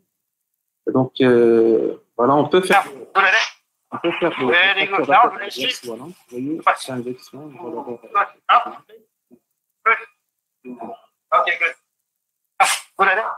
c'est good. Very good. Now, do.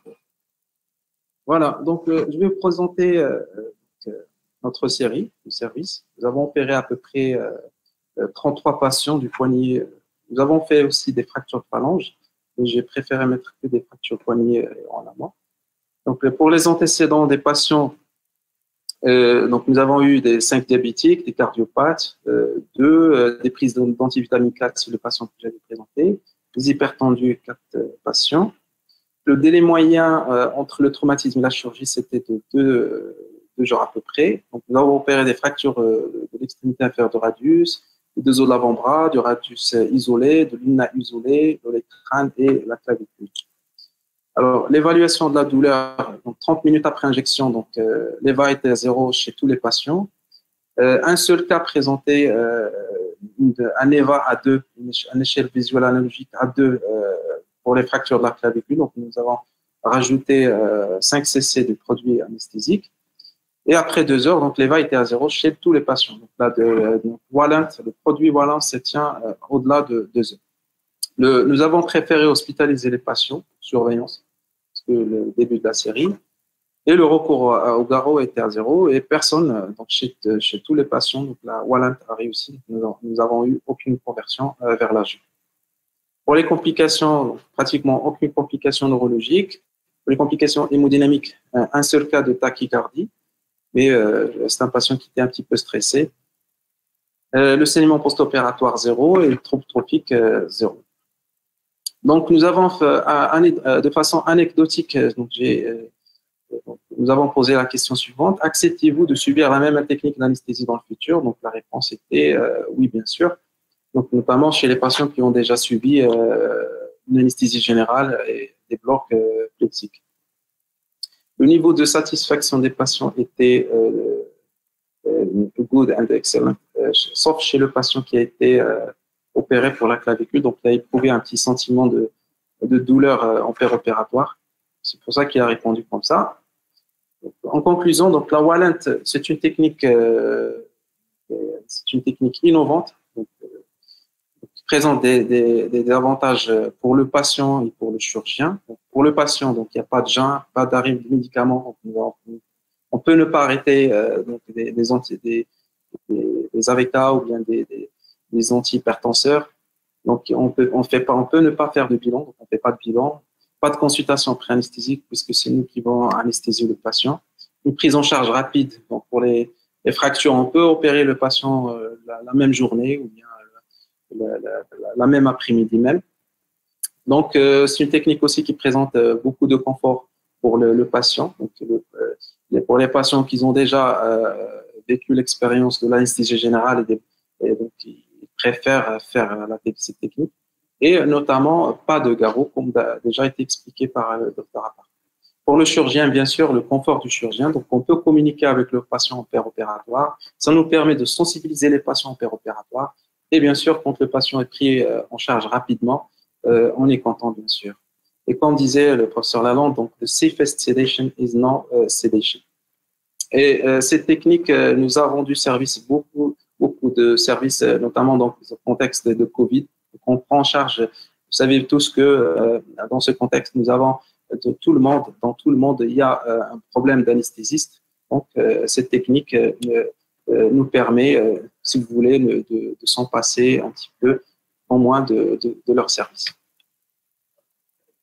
Donc, nous avons instauré dans le service, euh, nous avons, disons, condamné une, petite salle pour, euh, nous avons nommé la salle Wallant.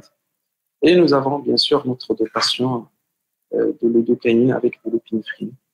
Et je vous remercie.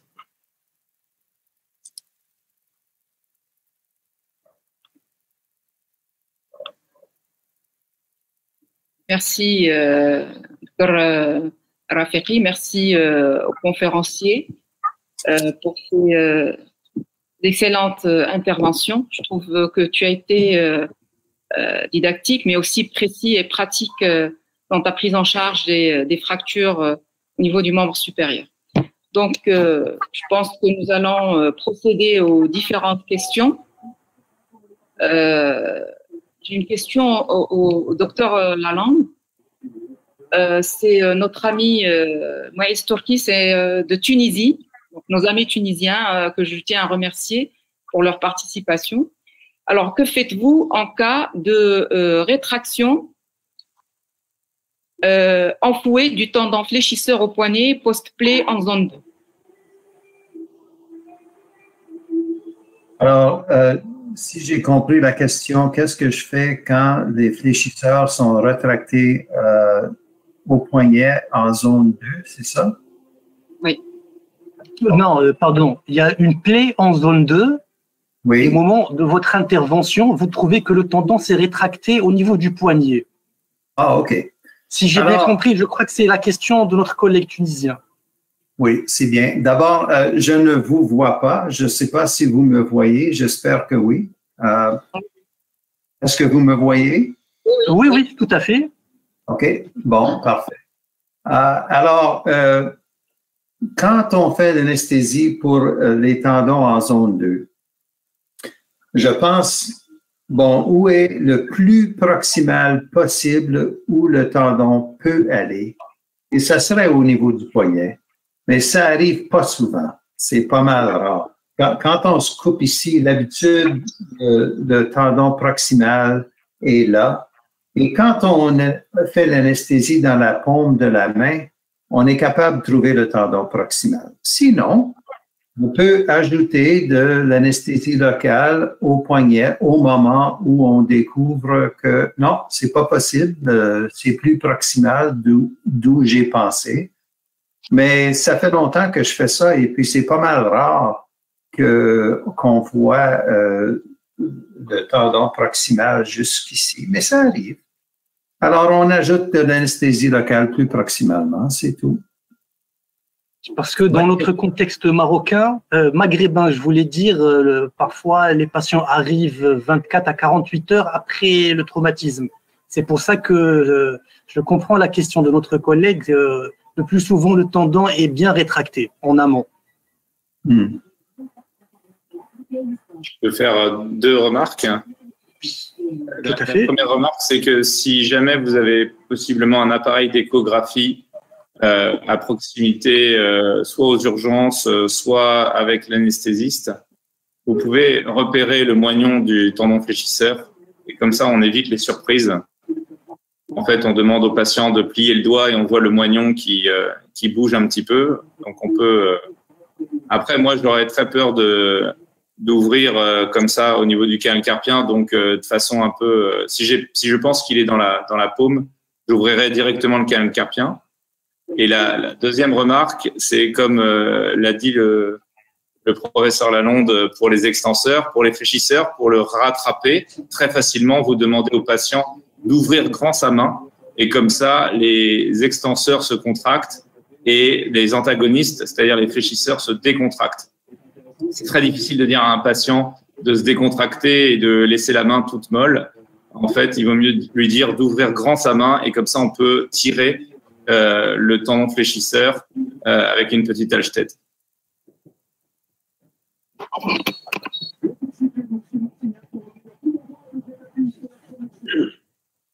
Est-ce que vous pourriez m'aider à savoir comment je peux vous voir? Je ne peux pas vous voir.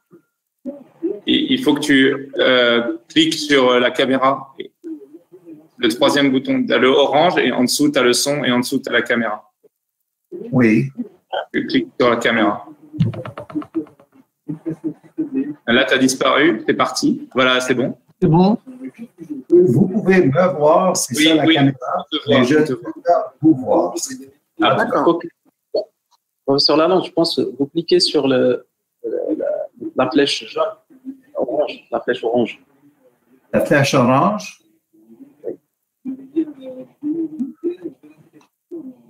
Oh, that just hides the control panel. It's okay. Je, je peux vous entendre. J'ai pas besoin de vous voir. Ça va, ça marche. Donc, désolé pour ce petit intermède technique. Bon, euh, une question, euh, n'importe qui pourrait éventuellement répondre. En moyenne, la durée après l'infiltration pour, euh, pour la, technique-là et l'intervention peut durer combien de temps?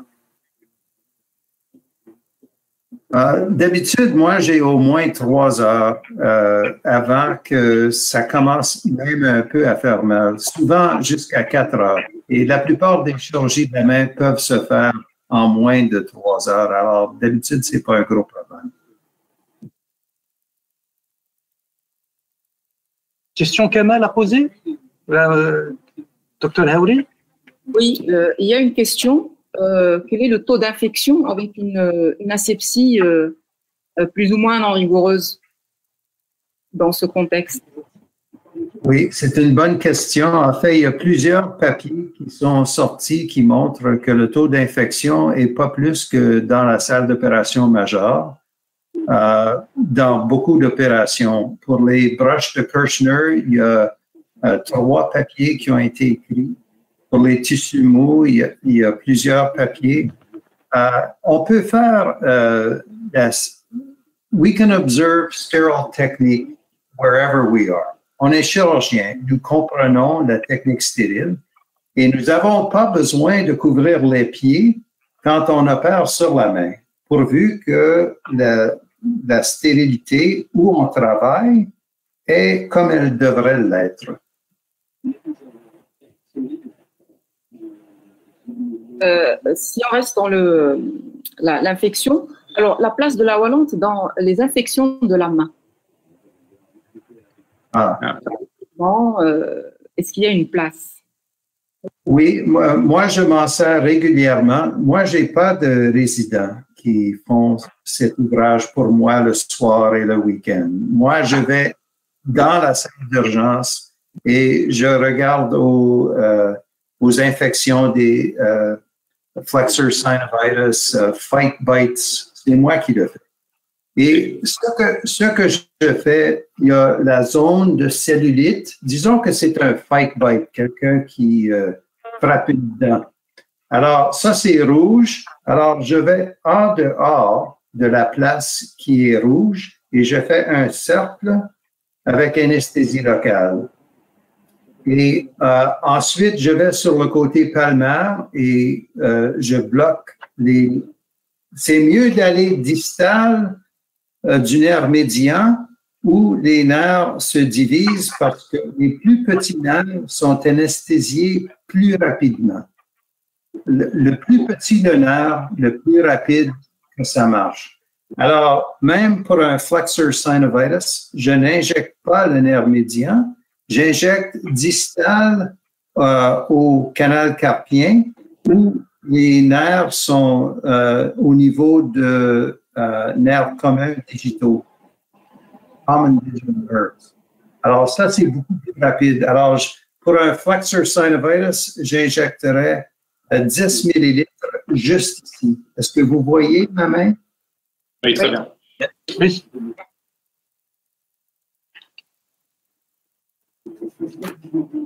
Vous est-il arrivé euh, de, faire une conversion de la Wallante vers un bloc tronculaire, de céder par un bloc tron- tronculaire? Non. Les trois. Si vous avez jamais.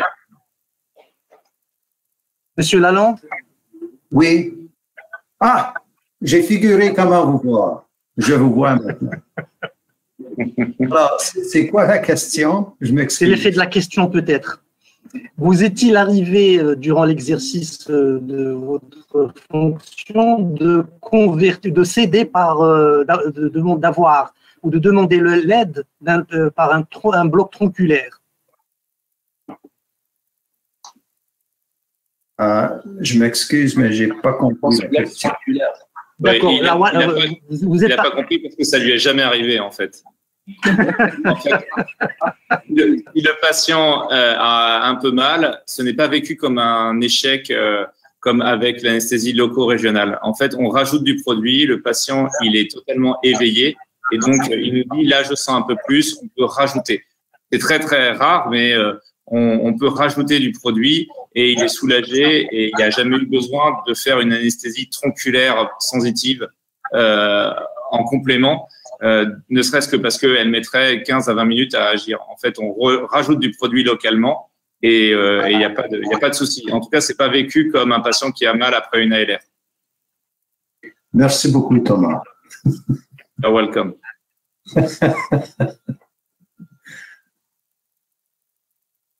Une question euh, là sur euh, concernant pour professeur Rafiki euh, sur le plan médico-légal, on nous parle.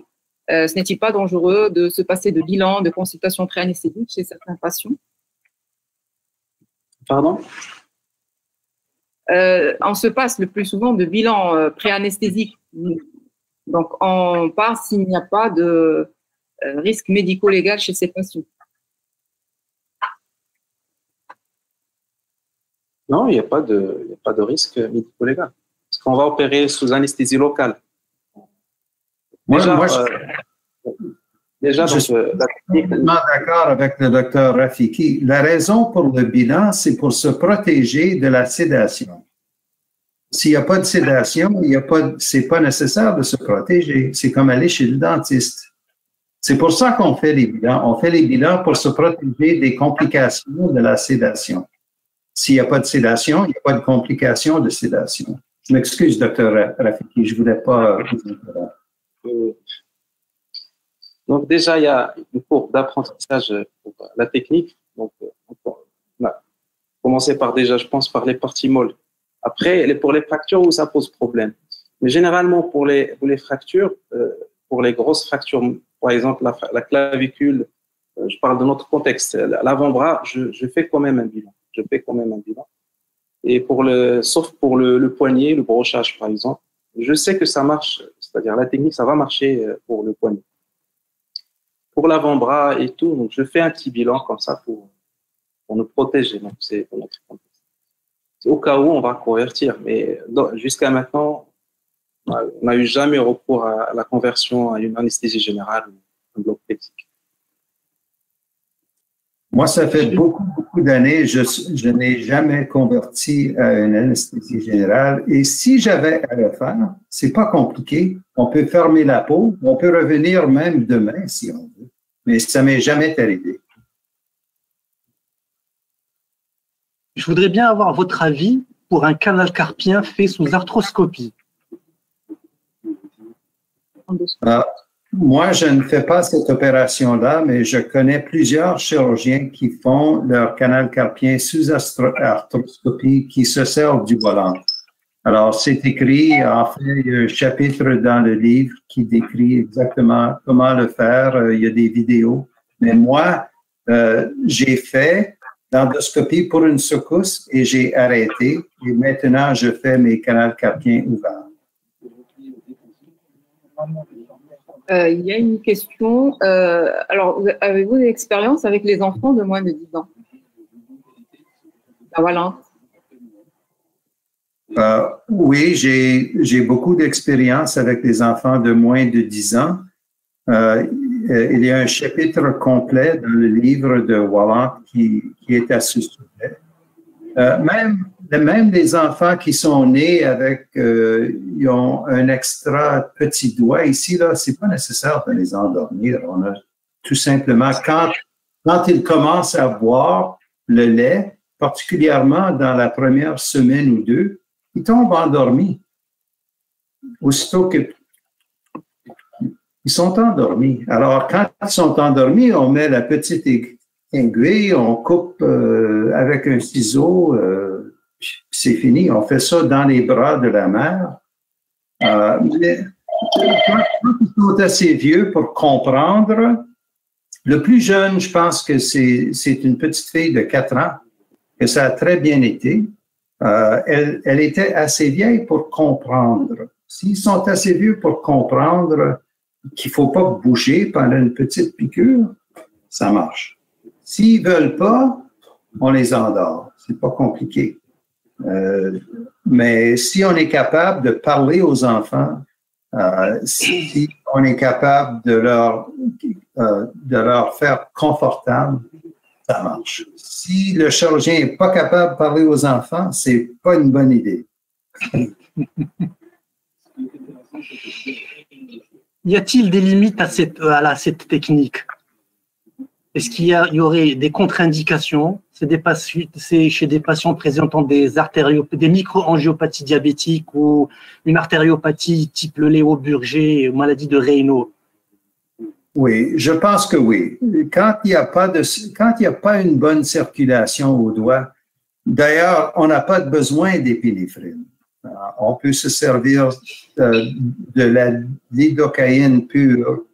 Euh, quand les gens arrivent avec des doigts qui sont noirs parce que leur rein ne fonctionne pas et ils ont des maladies de Burger ou ils ont des problèmes avec le rénaux qui est très sévère, on ne se sert pas d'épinéphrine, on n'en a pas besoin. Euh, on peut se servir de la lidocaïne pure.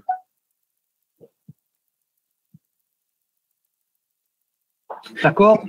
Si quelqu'un a une bonne circulation, quand, tout ce que je fais, moi, c'est que je, je, je, fais le capillary refill. Je pèse dans le bout du doigt.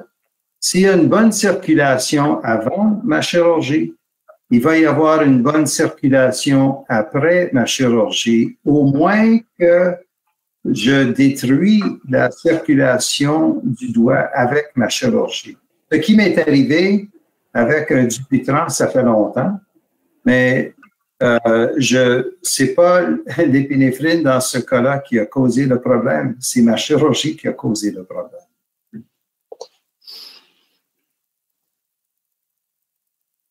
Une autre question? Alors moi j'ai une question pour vous, euh, professeur Lalonde. Euh, pour les patients qui ont des, des problèmes coronaires, c'est-à-dire, vous savez à quel c'est-à-dire à quel moment on peut ne pas utiliser la C'est-à-dire à quel moment ils par exemple. Ils sont stentés. C'est une bonne question. Euh, ça fait longtemps, on disait toujours, si on a eu une attaque de cœur, on ne peut pas avoir euh, une anesthésie générale pour trois mois. Euh, je ne sais pas si on est capable de faire des règles rigides comme ça. je sais que l'anesthésie locale est sur le cœur et les poumons que la sédation. Ça, je le sais dans mon cœur, je sais que c'est vrai. Euh, il y a un chirurgien, Peri Prasetyono, qui travaille en Indonésie. Lui, régulièrement, il se sert de 1 million d'épinéphrine. 1 sur 1 million, pas 1 sur 100 000, mais 1 sur 1 million d'épinéphrine. Alors, c'est de l'épinéphrine très, très diluée. Et Dr. Prasetyon euh, me dit que j'ai pas de besoin de 1 sur 100 000. il n'y a aucun doute que le moins d'épinéphrine qu'on se sert, le plus que ça va saigner. Mais un peu de saignement, ça ne tue pas les chirurgiens. On n'est pas mort quand on voit un peu de sang. Alors, on n'a pas besoin du garrot. On peut diminuer l'épinéphrine.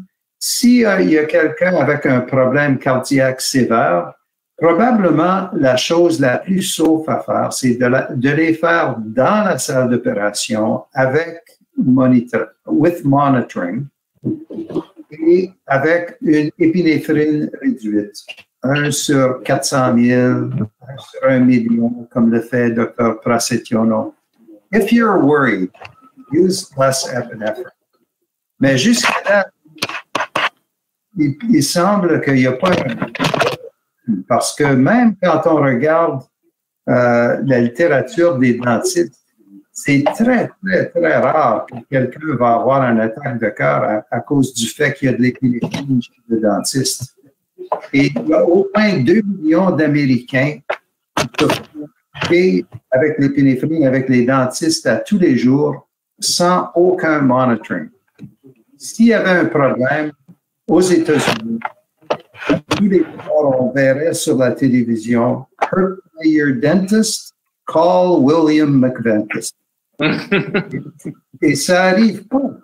Alors, si c'était un problème, ça arriverait à tous les soirs. Parce qu'il y a des millions d'Américains qui se font piquer à tous les jours et puis il y a plus d'avocats aux États-Unis que le restant du monde tout ensemble.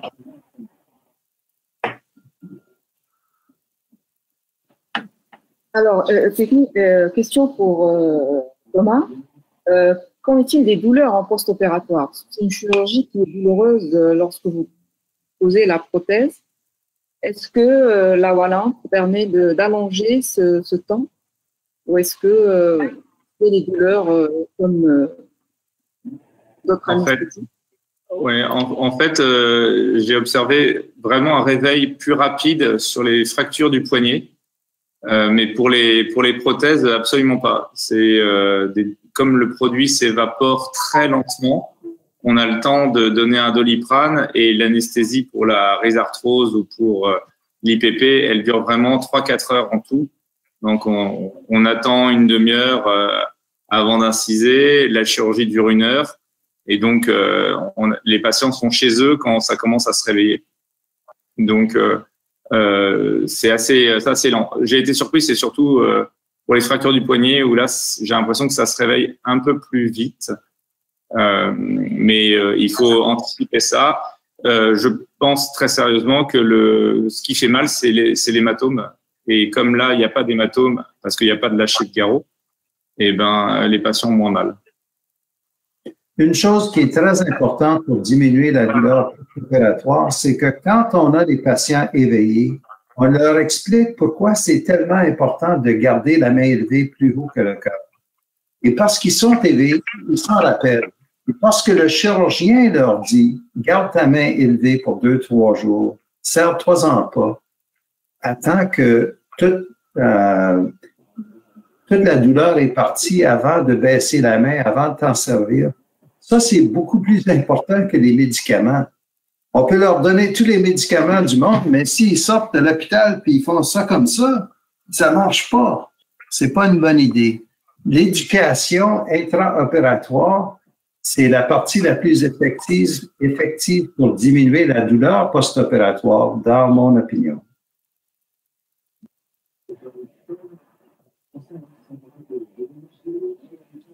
Euh, est-ce que le temps opératoire euh, n'est-il pas très allongé par rapport à, vos techniques hein? Du moment qu'on n'utilise pas le, garrot? Il n'y a absolument aucun changement. Changement. Il faut juste mettre euh, une bipolaire sur la table. Quelquefois, on n'utilise pas de bipolaire, mais là, c'est systématique. Il vaut mieux faire la petite coagulation. Euh, juste euh, euh, après avoir incisé, mais ça prend trois secondes et ça change absolument pas la durée. toutes les études ont montré que la durée d'opération change pas. En effet, on injecte l'anesthésie avant que les patients rentrent dans la salle d'opération. Alors, euh, le temps d'injection, c'est pas le temps gaspillé. Euh, ça peut se faire par les anesthésistes dans une autre chambre. Ça, ça serait idéal. Les anesthésistes injectent le volant dans une autre chambre. Nous, on a pas besoin d'eux pour le monitoring puis tout ça. Ça, ce serait peut-être idéal. Euh, parlant d'anesthésistes, euh, donc il y a des questions qui euh, reviennent sur la présence obligatoire d'anesthésistes en salle. Et est-ce qu'il faut les avoir auprès de soi quand on utilise la valence les, la raison que les anesthésistes sont absolument opératoires dans la salle, c'est quand nous avons besoin de leur protection pour les complications de la sédation. C'est pour ça qu'ils sont obligatoires. Mais s'il n'y a pas de sédation, ils ne sont pas obligatoires parce qu'on n'a pas besoin de leur protection pour nous protéger contre les complications de la sédation.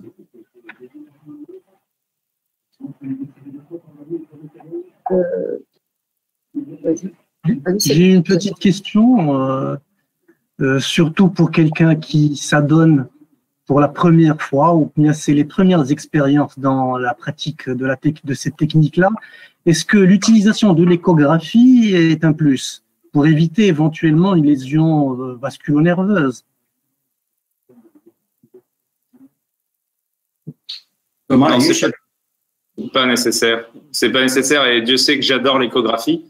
Euh, mais franchement, euh, franchement, il faut, il faut, il faut penser gros volume. En fait, c'est ça le premier conseil. D'abord, savoir comment piquer sans avoir mal. Penser gros volume. Et puis, vous ciblez une ou deux indications très simples, comme la suture de fléchisseur ou le doigt ressaut ou le carpien. Et puis, euh, après, vous verrez que progressivement, au bout de quelques mois, vous commencez à faire de plus en plus de chirurgie et à la fin, vous arrivez à un niveau comme euh, Kamal Rafiki qui a euh, une expérience incroyable sur des os euh, plus gros, plus proximaux.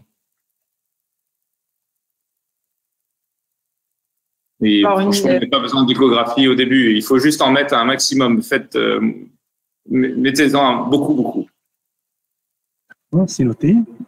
Parce que en fait, les anesthésistes, les anesthésistes ont la culture de euh, le minimum de volume possible pour éviter les complications neurologiques et euh, rythmiques.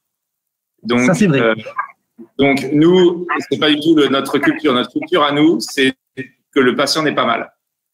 Et donc, s'il y en a un peu plus, on le met quand même. Et la, la, la, blague qu'on fait souvent aux patients en disant je fais comme pour moi, vaut mieux qu'il y en ait un peu trop que pas assez. Oui, D'accord. Euh, alors, est-ce que. Euh, oui? Moi, je pense que cette technique euh, doit être faite par le chirurgien. Ne doit pas être faite par l'anesthésiste. Pour, pour, la simple raison, la simple raison, par exemple, si on a une coupez, le son, de... coupez le son de Rafiki, coupez le son. non, je pense sérieux.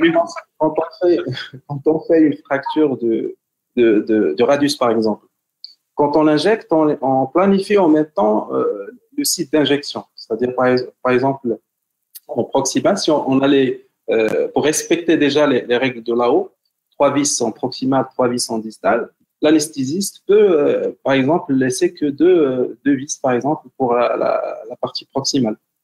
Donc, il peut pas, donc il peut, c'est-à-dire ne pas injecter trop au niveau, ne pas monter trop au niveau de la défise du radius c'est, je pense qu'il doit être fait par le chirurgien, pas par l'anesthésiste. Oui, pour les, fractures. Je, suis d'accord avec, je comprends ce que tu dis, Kamal, euh, parce que nous, on sait où nous allons disséquer. Et nous allons faire certain d'avoir deux centimètres au-delà d'où nous allons disséquer. Et les anesthésistes ne le savent pas. Mais si on dessinait, Bon, mais moi, je veux de la tumescence ici et on fait le dessin. Et s'ils sont capables de suivre le dessin et de faire certain d'en mettre trop que de ne pas en mettre assez, c'est possible. Oui. Mais pour la chirurgie osseuse, non, je pense. euh, il y a une question euh, euh, comment les anesthésistes ont accepté ces techniques?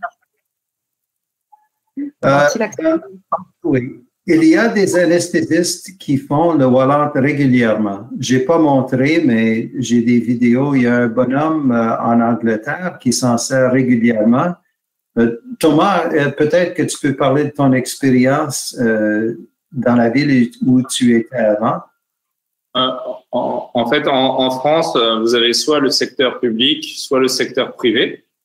Et en, dans le secteur euh, public, il n'y a pas de problème pour que le chirurgien fasse l'anesthésie, parce que euh, dans le public, on manque de médecins.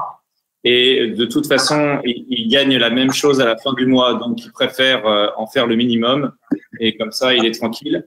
Dans le secteur privé, il est payé à l'acte. Et c'est beaucoup plus compliqué de mettre en place le Wallante sans anesthésiste. L'anesthésiste va vouloir garder son activité pour être payé. Mais il va vouloir que le patient soit scopé pour surveillance, que le patient soit à jeun, que le patient ait vu l'anesthésiste avant en consultation. Enfin, c'est beaucoup plus lourd, mais euh, on achète euh, la paix entre l'anesthésiste et le chirurgien. Et ça, c'est l'exercice privé. Après, ça, c'est la solution à l'hôpital. Euh, on ne parle pas d'office surgery, la chirurgie en, cabinet. Là, il n'y a pas d'anesthésiste, donc on fait ce qu'on veut.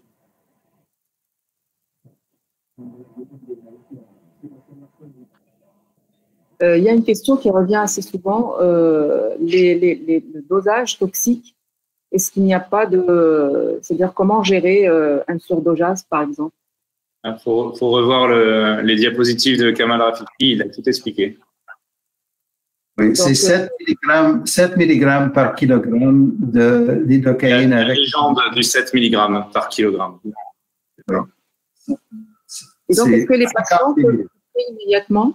Est-ce qu'ils peuvent rentrer immédiatement euh, Et euh, est-ce que la dose injectée a un rôle pour garder euh, ou pas le patient en surveillance? Non, Non. Comme chez le dentiste. Bye bye. Vous les opérez dans l'hôpital de, de jour? Oui. L'hôpital de jour ou dans mon bureau. Ah, D'accord.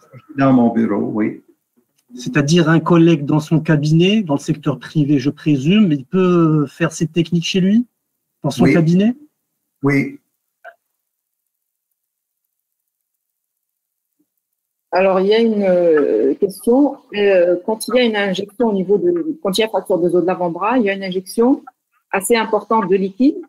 N'y a-t-il pas un risque de syndrome de Loche Non. On, va ouvrir euh, la voie d'abord pour mettre la plaque, donc il n'y a pas de risque.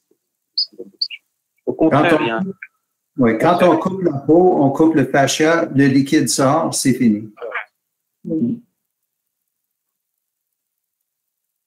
Une question qui s'est également posée après votre intervention, euh, aux membres supérieurs notamment, pas de drainage en post-op. Non. non. En Amérique du Nord, on ne se sert pas du drainage après la chirurgie de la main. Zéro. Zéro drainage. Bras et avant-bras, c'est la question qui s'est posée. Mhm. Non, non, pas de drainage. Non, là, en, en fermant, vous êtes sûr que ça saigne pas, en fait? Donc, il n'y a pas le problème de lâcher de garrot. Les, les, les plus vieux chirurgiens savent que quand on met un garrot, il faut lâcher le garrot avant de fermer pour faire l'hémostase. Mhm. Ça, C'est une habitude qui s'est perdue euh, après. Mais, euh, et donc, euh, on fait des pansements et après, on lâche le garrot. Euh, et donc, on prie pour que ça saigne pas et qu'on n'ait pas blessé une petite artère. Et donc, on peut éventuellement mettre un, un drainage à ce moment-là. Dès lors qu'il n'y a pas de garrot et qu'on est sûr que ça saigne pas, il n'y a pas de, de drainage et le chirurgien dort la nuit tranquille. Oui. Un patient qui demeure anxieux, vous, vous intervenez ou vous reportez? S'il y a beaucoup, beaucoup d'anxiété, on l'endort, c'est tout. Tous les patients sont anxieux, personne ne veut se faire opérer, vous savez. Donc, euh, il faut les rassurer, parler. Et plus ils ont un imaginaire euh, important, plus c'est facile de les embarquer dans une discussion. On peut discuter de ce qu'ils allaient faire le lendemain ou la semaine d'après. De ce qu'ils font comme sport ou comme musique, comme travail. Euh, on peut parler, euh, je sais pas si on peut parler politique au Maroc, mais euh, en tout cas, on peut, on peut discuter. Quoi. Oui. C'est- D'habitude, c'est si, si if, if you have a calm voice, you just vous, vous parlez comme ah c'est comme ça que ça se fait tout le temps, c'est pas un problème. These aren't the droids you're looking for. C'est- c'est- pas compliqué. La plupart des patients, tous, la plupart des patients ont peur de la douleur. Il faut les rassurer quand ça fera pas mal. Mm. La plupart des patients, ils, ont peur de ce qu'ils connaissent pas. Une rassurance de leur expliquer ce qui va arriver. Ça, c'est les deux choses les plus importantes. La, la première fois que j'ai vu du, du Wallante, on avait dit que ça marcherait que pour les Canadiens et les Chinois parce qu'ils ne se plaignent pas, ils ne bougent pas. Alors que nous, en France ou alors au Maghreb, on fait oulouloulouloulou, on va on va paniquer et c'est complètement faux. Tout, tout- quand on discute et quand on explique ce qu'on fait, on n'a rien à cacher. On n'est pas le, on pas le, grand docteur qui sait tout et le patient qui doit se taire. Donc il faut, euh, il faut parler en fait, pas de problème. Exactement. C'était la même histoire avec les Américains. Les Américains disaient, ah, vous pouvez juste faire ça au Canada. Nous autres, aux, en aux États-Unis, on est complètement différents. C'est pas possible. Vrai. Hmm. Just human. On vient de la France, de l'Angleterre, de la Chine. Donc, euh, je crois qu'on est arrivé euh, à la fin. Je crois qu'il n'y a plus de questions. Euh, je tiens à vous remercier énormément pour votre euh, euh, conférence, pour votre présence, d'avoir répondu présent. Et donc, moi, c'est la Société marocaine de chirurgie de la main. Donc, je remercie aussi les présents, l'assistance qui était variée, nationale mais aussi internationale. Donc nous avons eu des confrères de- d'Égypte, de, Tunisie, d'Algérie, euh, d'Afrique. Euh, donc nous sommes très ravis et euh, nous euh, vous remercions encore une fois. Et euh, donc si euh, Céline, tu n'as pas, euh, tu as un mot à dire euh, en, en clôture. Écoute, moi, je ne peux que remercier les orateurs euh, sur ce thème fort intéressant. Euh, honnêtement, j'ai appris énormément de choses. Euh, je connaissais la technique par oui dire sans plus, mais maintenant, euh, vous m'avez éclairé et, et je pense ne pas être le seul. Je vous remercie encore une fois et euh, à la prochaine. Merci à tous. Moi, je vous remercie tous. Et vous avez un prince avec Dr. Kamal Rafiki. Hein? Donc, il- il Je Vamos, que más. Una vez